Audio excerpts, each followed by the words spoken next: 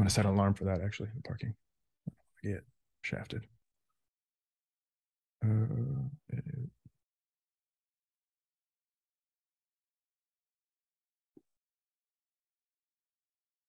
Hello, and welcome to Jason Cavness Experience. I'm your host, Jason Cavness. So a quick few announcements before we get started for the conversation today. First, Cavness HR, we're gauging access, we're gauging, gauging interest in a, in a crowdfunding campaign on Wefunder. To learn more info about that, become an early investor, and to learn, of course, to learn about the risks, go to https wefunder.com slash HR. Next Friday, July 7th, we're doing a hackathon along with the company DevMatch. Hackathon is going to be um, July 7th, 1 to 3 p.m. at Star Hall, University of Washington. We're actually going to have a hacker solves Cavness HR problems. And then probably the biggest event, July 25th, I'm putting on a, a pitch competition hosted by the Maritime Blue um, Incubator in Tacoma and sponsored by Byron Robinson, uh, Robinson Company, uh, company. So the pitch competition will be three to five minutes. Pitch however you want to. We're gonna have prizes like Byron's giving some great prizes. Close.com um, supplying $1,500 in, in sales subscriptions. And uh, Z Accounting is providing six months of accounting for $9, $99 a month. I mean, bookkeeping, excuse me. So our guest today is Alec Maslov. Alec, ready to be great today? Yeah, thanks for having me. Yes. I appreciate it. This is going to be fun. So, Alec, easy question for you first. What are you doing for fun right now? For fun? Pickleball. Pickleball, that's yep. a pretty something new, right? Yeah. Well, I mean, actually, pickleball was invented in Bainbridge, of all places. I had no clue about that. Yeah, some people are pretty religious about it. Like especially Bainbridge. They'll they'll start um, on the side of the court that's closest to Bainbridge. You know, kind of like a Mecca where you got to pray towards the direction of Mecca. no you know, it was Bainbridge. Yeah, yeah, and uh, actually is named after a dog named Pickle. So that's where the pickle comes from. oh wow! I had no yeah. clue. I'm really excited to go uh, backpacking this year. I mean, we we live in one of the really the most beautiful nature areas in the world. I think it's like the, the American Alps out here. Um, and I tried fly fishing for the first time a few weeks ago, hoping to get some more of that in. Have you have you gone deep sea deep sea fishing? Oh yeah, yeah. yeah. My cousin owns a uh, he produces carbon fiber rods. Okay. Edge rods. Um, and so he he has a charter that, that goes out and tests out his rods. We went last year for cod and halibut. And you, was, you, got a Westport, or you go somewhere else? Uh, where do we go out of? It was close to Westport. Um, it was I forgot the name of the city, but it was between uh, it was on the Columbia Delta on okay. the Washington side, though. So funny story. I used to go DC fishing every year. I went seven times, right? No, with my son, different friends, whatever to be, different people all the time. The first four times, it didn't matter what I ate, what I drank. Yep. You know, I was like perfect, right? Nothing at all. Last three times, like this. I couldn't stand it, right? So the third time, like I can't do this no more. I'm done, right? Yeah, yeah. It's the same for us. I mean, we, we took the Dramamine, we had the bands but still at the hour and a half going out and the hour and a half coming back in was like really rough. The hour and a half going in, uh, going out is like fucking brutal sometimes. But then, I mean, the, the hour that we're fishing, oh, no fine. matter how much, yeah, you, are yeah, it's it's awesome. You're just like you know pulling them out, the giant fish, having a good time. But then, is it worth it? That's that's hard. Yeah. So here's, here's a story for I've said this on podcast before. So one time we were DC fishing. Of course, you know, so you have to be get by five, you know, so you have to leave pretty early, and the boat leaves at six, right? Because you know, bring coolers, bring beer, whatever, whatever. Yep. And so one time we was on there, these two old dudes, right? They had to be like the 60s, 70s, right? And They're like, they look C, what's the word? C1, right? You tell they live the whole life in the sea, right? Uh-huh. They had this big ass cooler, right? Like, fuck they got, right? And so go, there's like, so both least six, like 6.30, the one old guy's the other one. You think we can start now? We should have started at five in the morning. Like, and so 6.30, I swear, and they put out the, the, a gallon of the water and a case of Schaefer Light. They were done at 7:30. What? AM? AM. they killed it? They killed it. Oh my god. And what they caught 90% of the fish. All the fish like flocked to them. Like, what the fuck's going on, right? Like they're the fish whisperers. Because they baited their hook a little bit in the wild turkey, yeah. probably. yeah. But that, I, I, I saw the wild turkey, so I was done for the whole day. I spent the whole day in the in the bed that night. I was like, I just I couldn't take it right. Uh, so many bad memories for wild turkey. Yeah. Deep sea fishing, man. It's a lot of fun though. Yeah when the when the weather is nice. Oh yeah, when the weather is nice. Yeah, when like salmon fishing, especially right. Yeah, well, I've never done salmon in the deep sea. Yeah. Um, but salmon in the Puyallup River when the when the run's going, oh my god, that's so much fun. Yeah. You got ten thousand people in the river. Everybody's thirty feet apart, but you're still catching the limit if you know, want right? to. Yeah, that's why I've never done that. I need. I've never done done in the Puyallup. I think it's going on this year.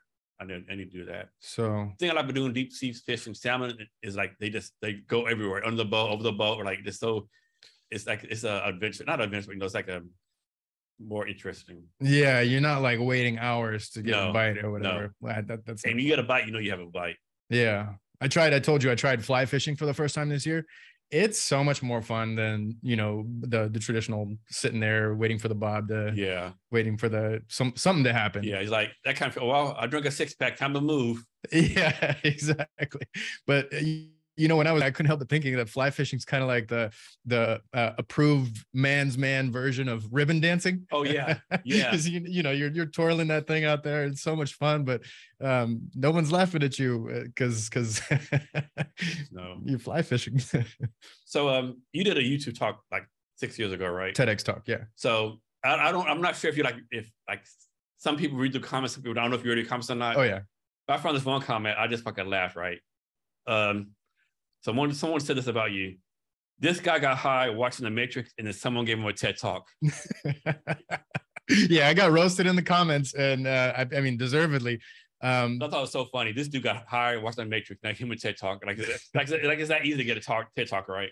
Well, uh, actually, what's interesting about that TEDx talk was um, it was at my my university in uh, actually I was in St. Petersburg, Russia at the time, and uh, all the spots except for one were filled by like you know physicists, computer scientists, founders, entrepreneurs, and then they had one spot reserved for a student. So they held a public speaking competition. A whole uh, school was invited, and I ended up winning that. So they allowed me to speak. But the funny part was that my talk did better than everyone else's. Um, I think it's like close to thir- 330,000 views or so. Yeah, probably because you're like more authentic. Other people that are probably trying to sell something. Oh, I'm a professor of this. I'm a doctor of this. Let me show how um, great I am. You know. I think I think people are generally really interested in the idea that everything around us is a computer program, but for the mainstream audience, there's no one who can deliver it in a accessible way, you know, in a way that people are um, able to understand. There's a lot of computer science, physics, and technical things that go into simulation theory. But my my whole role was to try to um, expose the idea in a way that is suitable for like a mass audience. So when you when you gave your TED talk and you said, you know, we're in a simulation, could, could you tell the like, who's this fucking crazy motherfucker? Like, or, or they were receptive to that? They were like, okay, here's another fucking crackhead talking some bullshit. Well, I mean, I think um, you know, what's the alternative? We we kind of um, as, as human beings, we kind of like can't help but to wonder sometimes. And we we have all of these uh, traditions, these historical teachings, science and religion, but nobody really knows. So there's still room for speculation, and people love being told a story if it's good enough. I guess my my story came through in a good way. Yeah. And so you was in St. Petersburg University in Russia when you did that? Yes. So I have to ask, your, your, your speech in, is in English, right? I would have thought it'd been in Russian or something. like Yeah. that. So the TED Talks everywhere in English, I guess, or No, I think most of the rest of them were in Russian there. And usually when when the TEDx is done, you know, at a in a in a foreign location, um, there'll there'll be some English, or maybe mostly English, depending on the place, uh, and then some in the the native languages as well. are you going to do any more TED Talks? I hope so. That'd be fun. What was the process? I mean, because I know someone else who gave one, and that I know the process is easy. You just can't like put your name in the hat. You're like, there's a process to it, right? Can you explain the process of getting approved to do a TED Talk? Yeah. So uh, for for this particular one, um, there was a public speaking contest. So you had to give your talk first in front of an audience and a jury. And uh, once they decided, you know, the most impactful or however they they judged, um, then you were to take that talk and then refine it further. Um, you want to work with someone who will help you fine tune the talk and the presentation, the slides. There was a lot of preparation into it. I probably spent about 80 hours uh, practicing and refining before I gave that talk.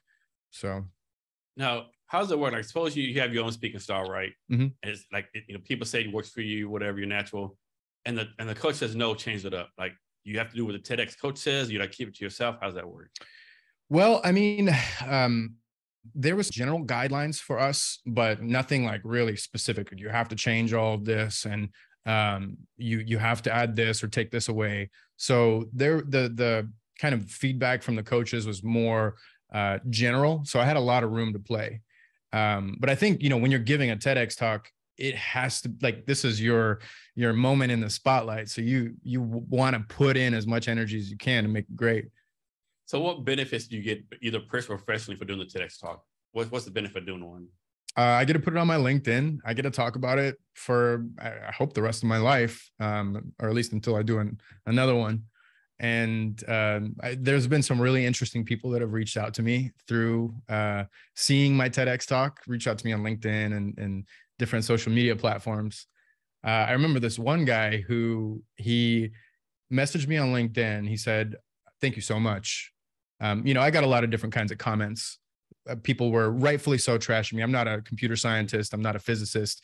I just tried to convey these ideas in a, in a simple way. But one guy, he reached out to me and he said, you know, I was um, I was having some real issues with depression, and I watched your talk, and I realized if we're living in a game, I just I just got to play the game. I just have to let go of all of this, you know, stress, rat race, and focus on uh, getting a high score that means something to me. You know, and he he was saying that it helped him with his anxiety and his social uh, depression things like that so that was really impactful and powerful for me yeah um so you know talk about metaverse different universes right you yeah. know like you know to my mean there's like there's there's definitely different worlds right you know if you're like you know a bourbon maker you're in the world of bourbon right yeah if you're a startup, you're the world of startups. You're a science, you're there's all the different worlds, right? And universes, like you make your own universe, I think, right? So like, you know, simple, like, you know, you go left or right, you know, all these simple decisions you make. Like you wanted to, like, either one of us go right now say, I'm tired of this shit and just go live in some small town in, in the South and, you know, do nothing, right? Right. So I think there's a lot of these metaverses out there. It's, and then it's like the stuff going on now. Like, like recently, like I said, free talk, supposedly it's like the universe has background music. They did pull from gravitational waves. Like, first of all, the hell the gravitational waves, you know? Like, and then like, do these people really know what they're talking about, right? Or they just making shit up, right? Do you do you really know? No, like I, I'm the kind of person who I don't know for sure until I'm there myself or until I'm like, you know, running the tests myself. Um, so I, I've always got doubts, and I think doubts are healthy. Um, we're trying to understand the universe as humans, and I think there's there's always going to be charlatans and storytellers and, and people who who like to exaggerate, and then there's always going to be people who try to um, uh, uh, things with science as much as they can and, and tell a story with yeah. science. But oftentimes you know when when you're when when the researchers are looking at the cosmos there's a lot of numbers and math yeah. and how do you tell a story out of that so um, you have really good storytellers like Neil Tyson DeGrasse, who yeah, who great at that. right, who who can turn numbers into something that's beautiful and emotional and stuff. Yeah, yeah. And like you know, with the James Webb Telescope finding millions, like hundreds or thousands of new galaxies every day. Like, I mean, I know, a lot of people say there's no no no no, no life out there, but how can how can there not be? Right? I mean, that's statistically impossible, I think, but who knows, right? You know what's really interesting though? So uh, there, there's a movie called The Thirteenth Floor. Um, I don't know if you've heard of it or seen it. It's a, one of the early ones about simulation theory, actually before The Matrix. I think. I think it was '98 that it came out. And the idea is, I don't want to spoil it. There might be some spoilers, so if you want to watch it, close your ears. um, the idea is that there, there's a company uh, that creates a simulation of Los Angeles in the 30s, and when they go into the simulation, they take over one of the characters. So what was really interesting is that at the edge of this simulation, it stopped rendering. Uh, so so when they got to the edge of the simulation, there was just a whole bunch of uh, uh, lines and graphs, and uh, th- there weren't any like beautiful colors or textures. Um, but you know, if you have a flat simulation at a certain point, you have to stop because your processing power just runs out. But if you have a sphere, then there is no edge. So you can create a completely enclosed space. So every time I Rick and Morty before he started, and there's an episode when that happens, right? During simulation, and, and Rick's like, we just have to get to the edge and jump off. Yep. Or the whole episode, we got to find the edge and jump off. Right. He finds they, two or three times, he, find, he thought he found the edge, like, no, still the simulation. Like, fuck. The villains not thought they were, and they finally, but finally they found the edge and then they got out. Yeah. Right. So I mean, the, the idea is if we're if we're on a sphere now, if if if this planet is a sphere, this is some people argue against that, of course, yeah, you know. Yeah. But uh, the idea is there's no edge, so you, you, there's no real way to find out. Yeah. So if we are in a simulation, what do you think the purpose of simulation is? Like, why would someone even want to start a simulation? There's all sorts of reasons for it. I mean, um, the the top one being entertainment, the top one being creating an experience where you can do things that you can't do in your real life you know why do we play gta or or assassin's creed um in a world where you can die and kill endlessly you know where you can do forbidden things without consequences Yeah. that's kind of i think one of the one of the most compelling ideas behind simulations So do you think there's one person running simulation? It's like a group project, no, so hundreds of thousands of simulations going on at the same time? look man in the ai age i think it's it's abundantly clear that if we're living in a simulation that was designed by an ai it was um, kind of like put through a bunch of trial and error and this ai is fine tuning all of the constants of life you know planck's constant and the gravitational constant until it gets something right where um, we're in a space where humans can can exist So how, how old is AI? Like when did AI start? Do you happen to know? I mean, it, it depends on how you look at it. I, I don't have um, like the official history off the top Like, of my head. Pretty recent though, right? Yeah. So you have to think that this is a AI. It has to be someone not of Earth, right? Because like it has to be someone like way far advanced of us, some kind of other like alien technology, right? Yeah. It's hard to say. I don't know. I mean, uh, if we, if we, this is a simulation and there's a quote unquote real world or as Elon Musk called it, like a base reality, Yeah. right? It could be so much different than what we're experiencing now that we don't even have a frame of maybe this is actually the year 200 and we think it's the year 2023, right? right. Maybe we have like fucking small chips in our head, like, you know, those like on the Star Wars, the clone troopers, right? Yeah. Exactly. That's some crazy shit. Yeah. It's fun to think about. It is, right? And then like there's so many possibilities, right? Simulation on simulation, you know, like Yep. what is like there's like five people doing simulation, each one is like their own specialty, right? Yep. Like suppose one is in c- control the weather, but that person actually dies, right? Oh shit, the weather's all fucked up now. The simulation guy's not here, right? yeah. or he's just taking a vacation. I know. Yeah. Um what got you interested in simulation theory? Uh, I'm uh, movies, honestly. Uh, if you in my in my TEDx talk, uh, I mentioned a few of the the top ones that really piqued my interest. Matrix is obviously on there. The Thirteenth Floor, which I was just talking about recently, is also on there. Uh, the Truman Show, uh, and, and another one, Dark City, which is just really impactful. Have you seen the Truman Show? Mhm. Yeah, Yeah. yeah. I think you uh, see this this guy like what is what's this? Yeah. right. And I, and I, I open up. I think it's um it's archetypal kind of, you know, where I think every human being has this little inkling of doubt about Yeah. our experience. And when when there's a movie that really effectively and uh, in a compelling way exposes that doubt, it's it's a powerful experience for us. Especially like you have deja vu, right? Yeah. Okay, like I've never done this, but it sure does feel like I've done this before. Right, right. And, and you probably have done it some sometime before. Yeah. And Yeah. that's where like, the uh, what's it called? The um reincarnation stuff comes in and stuff, you know. Yep. Yep. So is there like a scientific theory behind simulation theory? Well, I know that there are um, people who who do a much better job of going into the computer science and the physics behind uh, how and why simulation theory could be right. But uh, the the problem, the biggest problem behind simulation theory is that being inside of a simulation, it's really difficult to determine whether or not this is one. Yeah. Um, and there, there's a lot of science that goes into trying to understand what the universe is. talking quantum mechanics, physics, and um, computer science also. yeah, I now. definitely want to talk quantum computing later on. Yeah, yeah. So there's a lot of science that goes into kind of the speculation behind simulation hypothesis, um, and there's a lot of people who try uh, scientists who who speak about simulation hypothesis um, using scientific terms uh, about how we could go about proving it. But we run into a really big problem where we can't really falsify it, right? Yeah. There, there's if we're inside a simulation and the simulation's designed for us not to know that it's a simulation, it's pretty difficult to tell. Yeah. Yeah, I know a lot of people talking about, are the aliens out there want aliens to come see us? I'm like, do we really want an alien to come see us? Right. An example, like it's a bad analogy, but way back in the day, 14, 1500s, Cortez went to Spain, went to the Incas, pretty much destroyed all the Incas, right? Thought he was a god, right? Yeah. I mean, can you imagine some alien coming here and like not being like, you know, and being hostile? Like we would have no like we would like we all be slaves, right? Like Yeah, pretty much. I mean, I think uh, it's interesting though because the the Maya and the Aztecs, their legends talk about white men with beards Mhm. as gods. You know, and these guys came for like, Yeah. literally fulfilling a prophecy. you know what? I have, I have a theory too, right? So if you're an alien, what's the easiest way to, to like conquer the earth? and assuming that your alien has some kind of power, right? So you send one alien, yeah, he just he can levitate, do some powerful stuff, Uh-huh. and he says, "I'm God. I'm the God of Abraham." Blah blah blah. Yep. And half the world's gonna worship him instantly. Others have to like, this is bullshit. Yep.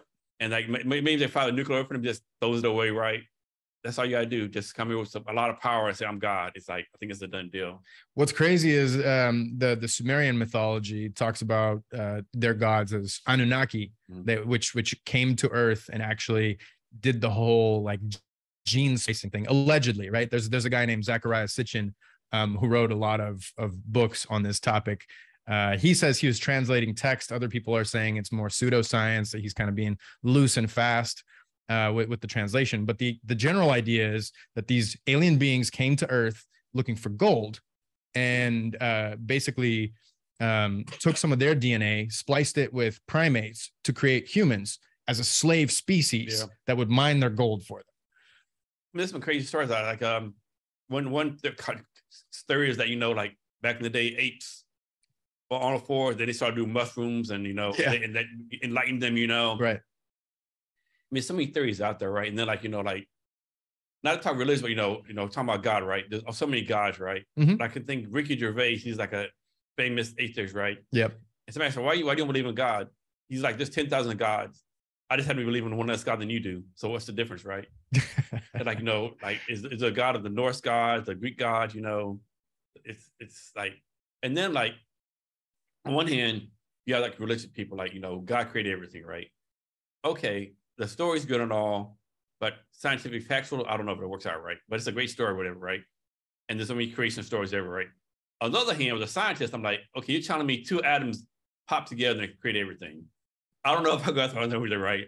Like, there has to be a, third option out there, like makes more sense, right? Yeah, I think I think what's really interesting about that is uh, so religion. There's there's two different kind of parts of it that are really important. One part is how you live your life and the good that it does to Yeah. you and behavior, social interaction, Yeah. cohesion, all that stuff. And then uh, there there's another part where you try to fulfill that seed of doubt that every human Yeah. has about why we're here, what we're doing. Um, and people who who argue really strongly for it kind of don't really sound that smart sometimes. Yeah. But what's more interesting is now in the age of AI, right? When you can type into Chat GPT any question you want, and it, boom, you know, it, it works through billions of nodes to give you an answer that's like right Yeah. spot on. Uh, where you can imagine somebody building an AI and say, eh, you know, typing in "Let there be light," Yeah. and the AI handles all the hard work, makes an entire universe, Yeah. tests through a bunch of different, you know, constants, and suddenly, boom, there's light. Yeah. And back in the early day, like suppose you're early man, right? You in your loincloth or whatever, and like you're kind of rich and people are stealing your sheep and goats, whatever. What's what's better way like having to stop to say, God says to do this, right? Yeah, And like, you know, it's like God always talk like one person, right? right. You would think like I'll, I'll probably get fucking go to hell for saying this because I am Roman Catholic, but you would think like, you know, like God would like speak to everyone, right? Mhm. I'm your God, like some kind of mass telethesis, whatever you want to call it, right? Or you're always some random dude, some random shepherd, you know, by a burning bush, you know. Of Yep. course, some people theorize it, it was a burning bush, the dude's an, like the dude was an LSD or something, right? Right. It's always these theories, right? I mean, as a, to me, as a story, the Bible has to be the greatest story ever told, right? Because it's definitely like 45 different stories, you know, it's different. And then you get the New Testament, and it's, it's just it's, it's just interesting to talk about, right? And then again, but but I'm like, you're telling me small, two small items banged together and just like this easy created. I don't know if I buy that either, right? Yeah, I mean, I think that one of the most important things behind any religion is is uh, like uh, creating rules that society will follow for the benefit of society, Mhm. right? If you if you say if God tells you don't eat pigs or don't eat shrimp, there's like maybe some underlying reason Yeah. where if you're doing that in the desert, maybe you'll get sick. Yeah, and probably was probably it's not good for you. Um, and and so there's there's that part of it where you know that that social rule, creating behaviors that are good for long Yeah. um long for the long run in societies, right? So But then again, like, do, should we really be following rules from somebody who like wearing a loincloth thousands of years ago? You know, like, you know, I don't know. And then like a lot of stuff in the Bible too, like, like I know in the Old Testament you couldn't eat pork or all that kind of stuff. In the New Testament, a lot of people think like Jesus got rid of it wasn't Jesus. It's like supposedly the Bible story is like an angel came to, to Paul and like and they said, Hey, don't worry about you know unclean eating. It, what comes out of your mouth makes you clean, like makes you dirty, and that's what will put you in your mouth, right? So yeah, it's like a lot of that stuff like this for convenience sake, right? Yeah. What's interesting about the New Testament, I don't know if you've heard about this. Uh, there's this, uh, maybe it's a conspiracy theory, maybe it's kind of like, um, you know, speculative research. Some people are saying that the, the New Testament was partly, in part, created by the Flavians, the Roman emperors who were, who were trying to like. I mean, because the gospel written like 400 years after the people lived, right? Right, right. Well, I, I know you can pass stories down a generation, but something gets lost in translation. Yeah, exactly. And I mean, you know, you have this this uh, prophecy about the Jewish temple getting destroyed, yeah. and then you have this emperor who comes in and does it. With the emperor had a lot of relationships yeah. with Jews, but the other thing about relationship uh, religion is that um, if it doesn't resonate with people, it's never going to get adopted. Yeah, there must be something about uh, Christianity that really resonated with Europeans and and that part of the world where you know they they a lot of people felt that this is right this must be the truth because this is how i feel inside. Yeah i, I definitely think that roman empire i co-opted right? Because this is a great story. So this i can show it. So this this tattoo here Chi-Rho? Yeah. So the, for those who know the story was constantine was in a, about to have a battle. I think it was civil war. He's outnumbered out everything right? Yep. And then supposedly allegedly this was this appeared in the sky and jesus said with this symbol conquer right? Right. And then so he pinned all, all the all the all the shields and stuff. They conquered, beat his ass, beat the enemy's ass, whatever. And then Constantine became emperor again, and then the Roman Empire became Christian, right? Right. And of course, then they brought this like you know some pagan holidays, like a sun holiday, yep. combined Christmas, right? So like, I think like they, I think for political purposes they co-opted Christianity, right? Yeah. And know some people are like, oh, it, that's not you know that's not bad. A lot of Christians will say, well, that we might agree the way we became like the world religion, but he, this guy does a great service, right? Without him, the whole world would not be Christian today, at least most of the world, right? I think uh, I think there's a lot to be said about uh, the idea that you create common language between different regions, where suddenly, you know, if you're French and somebody else is Hungarian or German, you can't really understand each other. And whenever you meet as travelers on the road, there's automatically suspicion. Yeah. But if you're both Christian, if you both identify as Christian, yeah, the common bond. Suddenly you there's see, like you see a cross somewhere, or right. you know, yeah.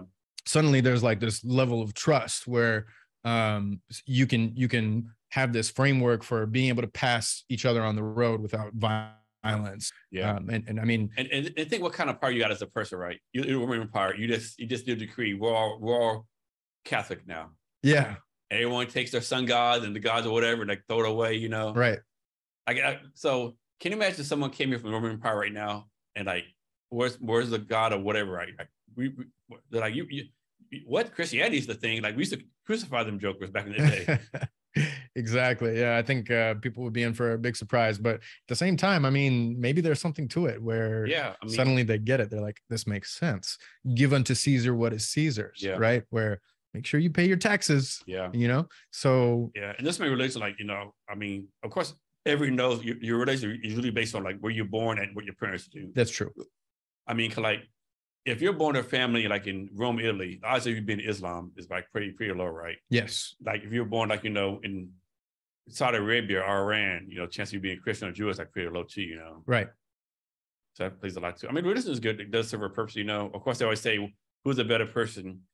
the religious person doing good deeds because he wants to go to a better place, or the atheist who just does good deeds because he's a good person, you know? Yep. That's a really good philosophical uh, question, I think.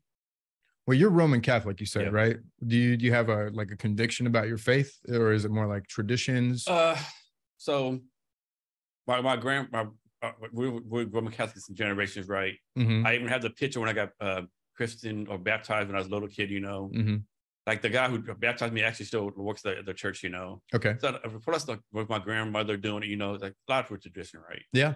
A lot has to do with tradition, right? Which can for be sure. good and bad, right? You know. Yeah, absolutely. I think it's uh, you know, I had my my my my father is actually a pastor in a church.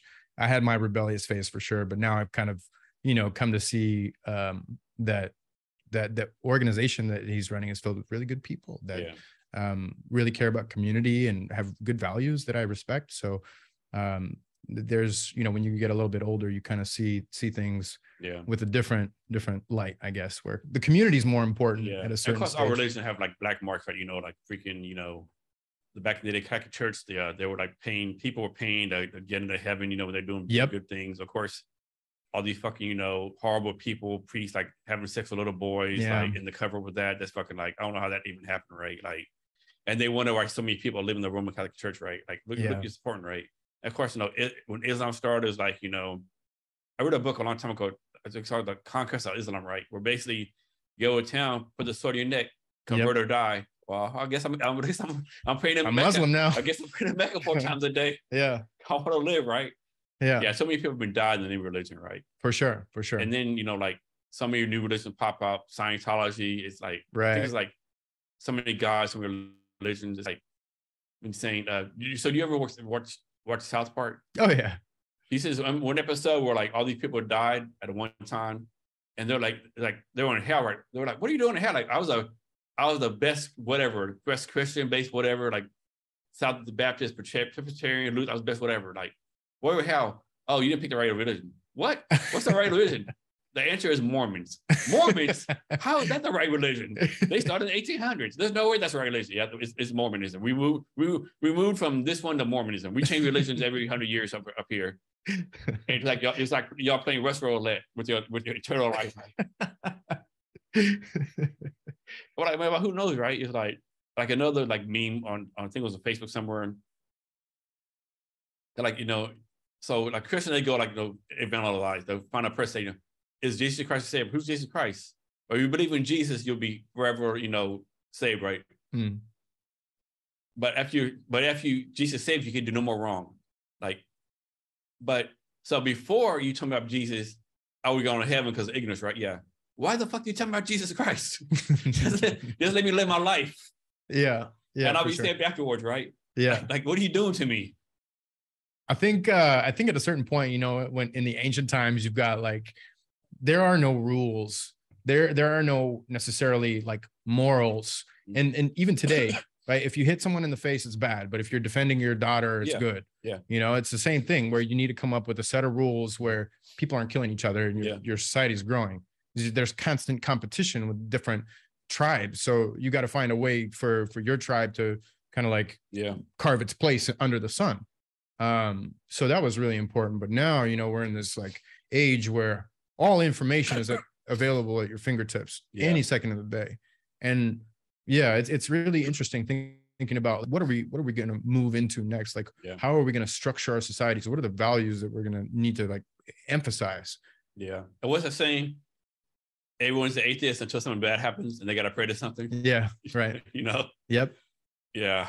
It's it's crazy. I mean, like, well, who knows, right? It's like so many unlimited possibilities, you know, like it's it's just insane. Like so much knowledge now. Like, there was a study there was a study I, I don't remember exactly which university put it on but they created a fake guru um, and it was you know completely intentional where the this person was was chosen for this specific experiment. And um, over three months this fake guru gathered a following of you know i think it was like 50 to 100 people um, and completely pretending to be this guru uh, this spiritual leader and and you know kind of fooling these people along the way.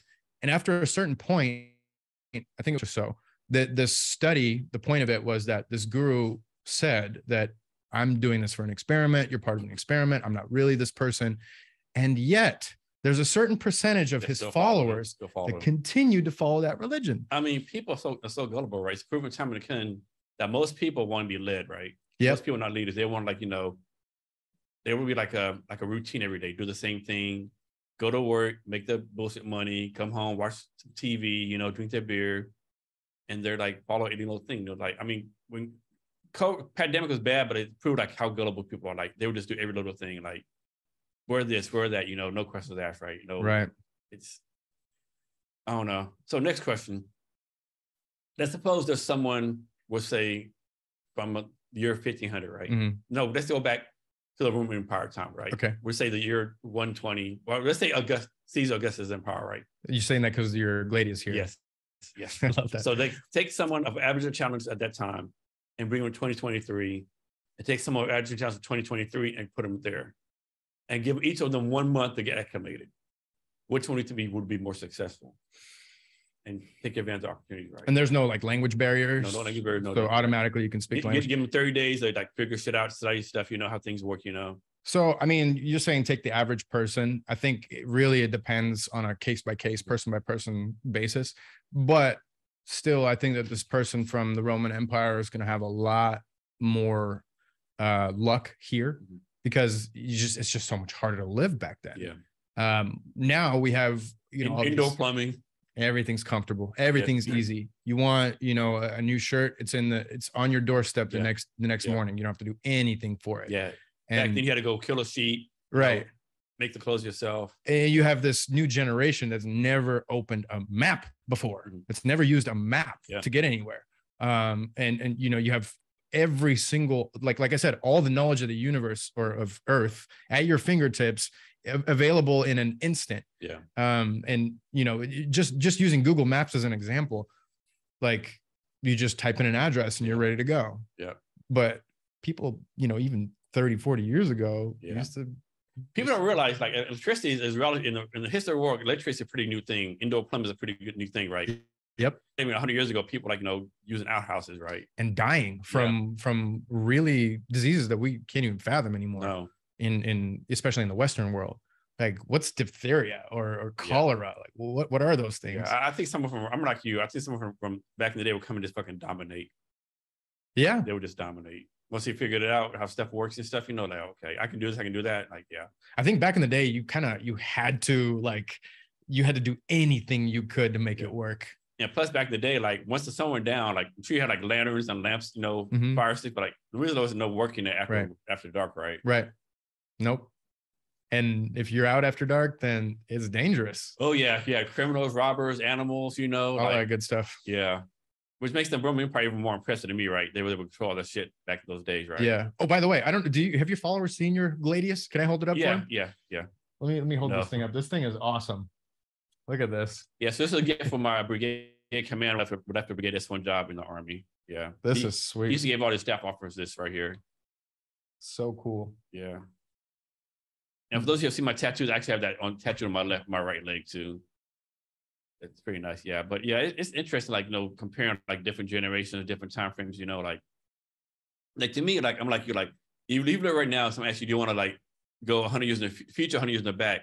Like, I want to stay here, right? Like, but 100 Yeah. years from now, the world might be blown up, nuclear dis- Exactly. disaster. 100 years ago, I ain't, I, fuck, I ain't doing that shit, you know? Yeah, I mean, you could have made some money, uh, but at the same time, like we, it's it's nice here.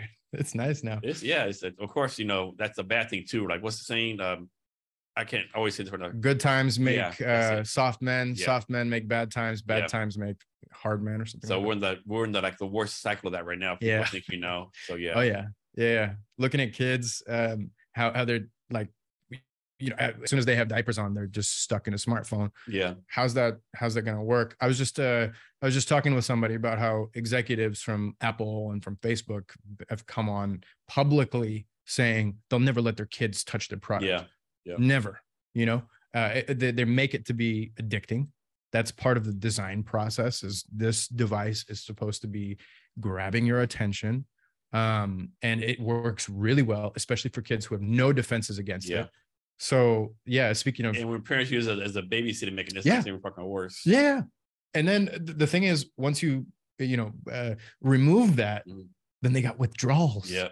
They start, they start, you know, bawling and crying and, and I know. like, yeah, it's, it's like, uh, you know, coming off of a, of a drug, Yeah. basically. It is. Yeah. They're kids. They're defenseless. They have no idea what, what, what's going on. And And, and kids nowadays, like, so very kids have what they call like that dogging, right? Like that desire to do better, right? right. Very few. The one, a few of them do, and because a few that are like dogs, so to speak, like really like go getters, they just shine so much of, of the other people, right? It's not even close. You just okay, you're gonna do something in your life. Yep. And there's other people like just doing like, what are you doing, right? Yeah. Yeah. Yeah. So I, I mean, speaking of values and what we need to like prioritize and emphasize going forward, what do we need to focus on as a society? Mhm. I think we need to reconnect back in the real world, you know, and kind of make sure that we're incentivizing people to have real experiences and engagement. And then like people always talk about they need to teach this in school, that in school, Right. You know, okay. Taxes, finance, or computer science. okay, they're only in school for six hours a day. How do you propose they learn all this stuff, right? Mhm. I mean, you got to learn math, science. You know, if you learn, I mean, they be in school twenty four seven, right? Yeah. So how do you decide as a society what's really important, right? And what's what's the school's responsibility? What's the parents' responsibility, right? Is it really the school's responsibility to teach my kid how to balance a pay a, a, a, a Checkbook. checkbook? Yeah, Mm-hmm. or is that on me?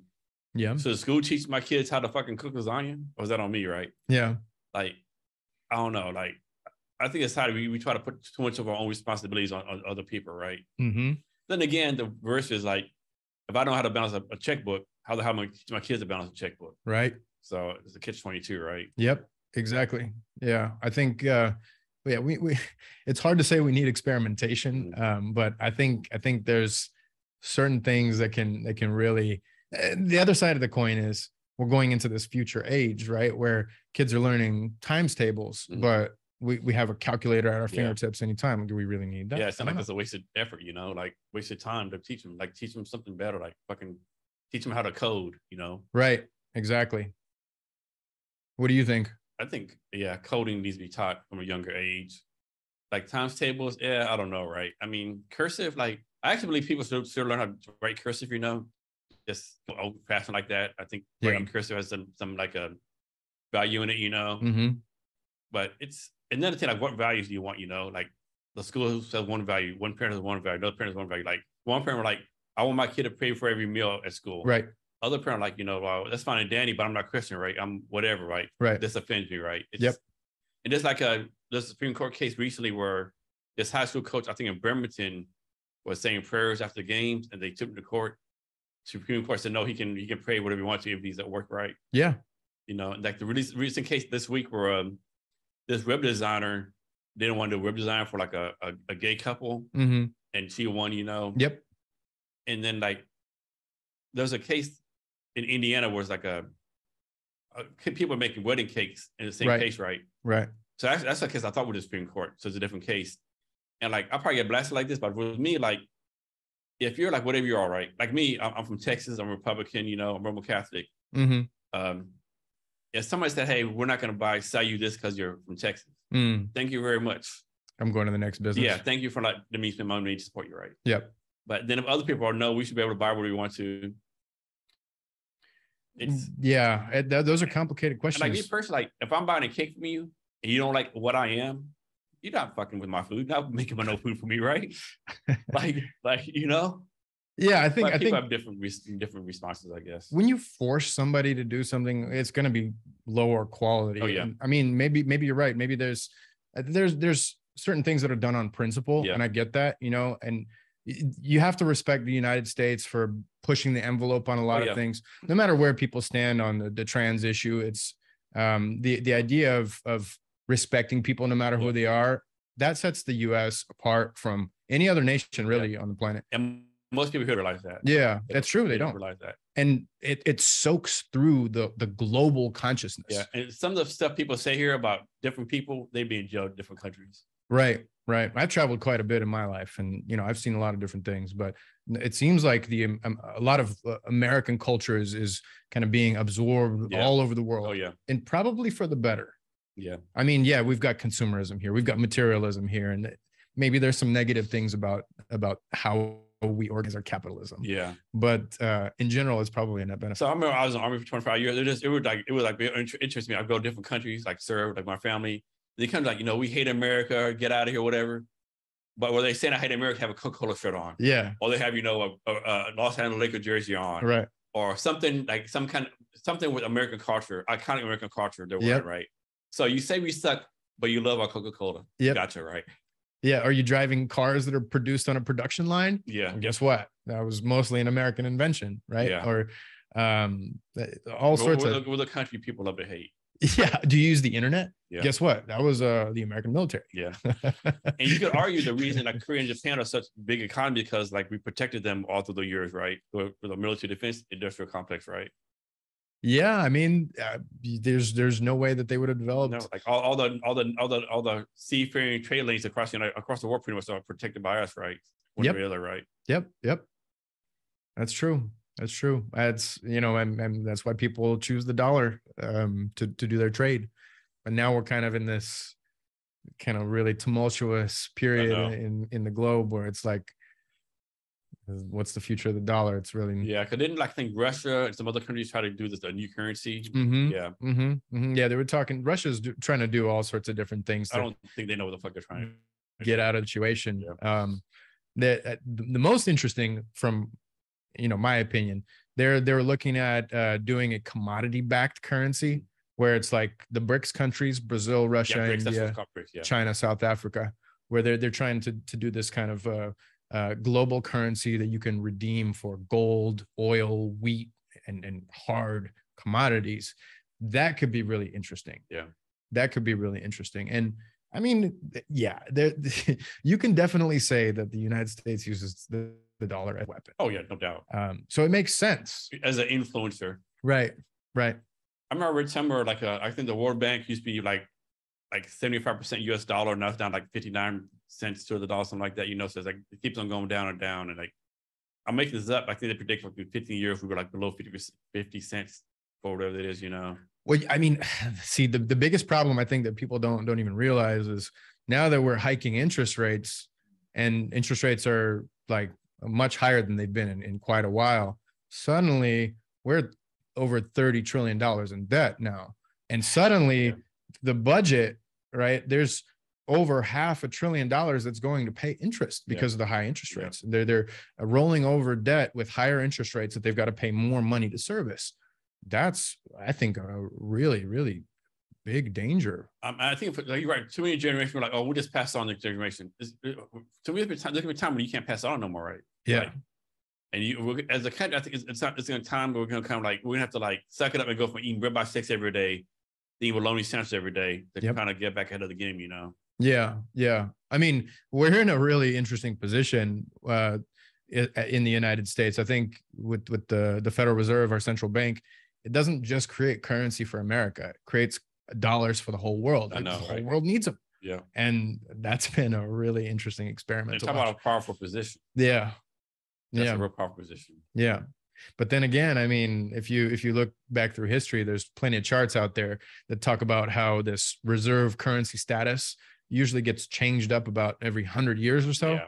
We're coming right up on on that. you know? Yeah, that's a good point. So- I know. I think it was Richard Nixon who took us off the gold standard. Right. So I don't know if that that's a good thing or bad thing. You know, I'm sure had a reason, but man, I don't know. Yes. What what's your take on like uh like Bitcoin that kind of stuff? Yeah. This it was just so I, I worked for a, uh crypto VC for a little while. I didn't. I wasn't on their investment team. That was the SMC. Capital. SMC Capital, yeah. So SMC Capital uh, bought tokens and then sold them for more Bitcoin and, and made some money that way. Um, and what was really interesting having kind of an inside look in that ecosystem in that space, there's two camps the way I see it. There's this um, like idealistic driven, um, philosophically driven camp where people are really focused on decentralization and privacy and creating a future that uh, there's sovereignty for the individual. Um, and then there's the speculators, the scammers, the profiteers, the people who are who who don't care about philosophy. They just care about flipping making a dollar at whatever expense to anybody else. It's like really two completely different sides of, of the coin. It's like the dark side of the moon and the light side of the moon. It's it's uh, diametrically, it seems diametrically opposed. Um, and and there's some things that I really vibe with with the philosophy, like uh, people should be sovereign. We should all take control Yeah. of our finances and take control of, of how we store our wealth, how we store our data, and um, how we do business. All all of those things are like they, they the the Bitcoin community. Some of them are advocating that there should be a revolution in those things. That we need to grow as a species and be more spiritually mature. Uh, and and yet and yet being on the inside, I saw how you have these certain funds that get together in telegram groups and say we're buying this today and we're selling at 3 p.m Mhm. so get ready and they move the market that way and um, somebody who, who thinks they can make money end up not really making money and kind of getting the short end of the stick because it was rigged. Um so it, it it's hard to put it con, you know congest that down into into one single opinion but i don't know. What do you think? I mean, it's not like Bitcoin's like on one hand, it's like Bitcoin's like this fantasy, you know, um, currency out there, like for rich people, whatever case. But I remember one time actually got a barber, my barber said, "Hey, I, I take Bitcoin now." Like, oh shit, that's it hit me. Like, okay, maybe this is more mainstream than I thought I was. Right? Yeah. My barber's taking Bitcoin as payment. Okay, maybe this is more. And of course, I think you had El Salvador maybe the, the national currency, right? You Right. know, Yep. it's. I mean, I think it's definitely some advantage, right? Definitely the decentralization part. You know, you can pay people, the government know what you're doing, right? Yep. Of course, the opposite, like you know, like I said, like you know, drug dealers and bad actors Yeah. using Bitcoin, the dark web, whatever you want to call it, you know. Yep. And then it's like, like there's 10,000 cryptocurrencies, right? Like, how good are they really are, right? Yeah. were Bitcoin, at least the Bitcoin, you have that, I think it's the blockchain, we can like track everything down. Yeah. No, I mean, uh, the other side of the coin is like, can you actually really use crypto for uh, payments in a secure way? Like, can we can we imagine a society where all we're using is our phone to to make payments? Yeah, a lot of people are using Apple Pay now, but I think lately with geopolitics, you know, with this Russia Ukraine stuff, Yeah. you see how vulnerable the infrastructure is. Yeah. Like if the United States, or okay, I'm saying the United States, but um, whoever blew Nord Stream up, Mhm. right? If it wasn't the US, whoever it was, Ukraine or Poland or the UK, it doesn't matter. But we're seeing that, that these huge infrastructure objects are like really vulnerable. Oh, yeah, definitely. And and even these fiber optic connections, um, I think it was the Financial Times that was talking about how Russia is looking at destroying fiber optic cables that are linking the US and, Yeah. and Europe.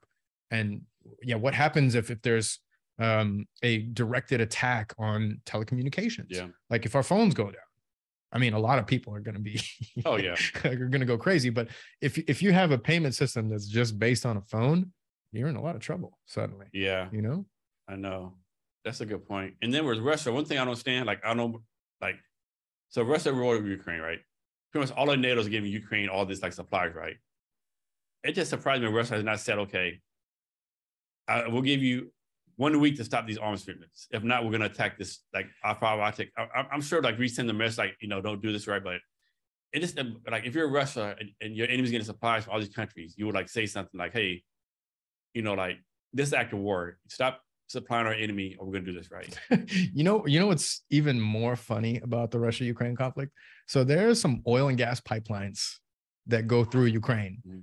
that are still pumping oil and gas to europe What? through ukraine and guess who gets transit fees from russia ukraine You think that'd be the first thing they would cut off?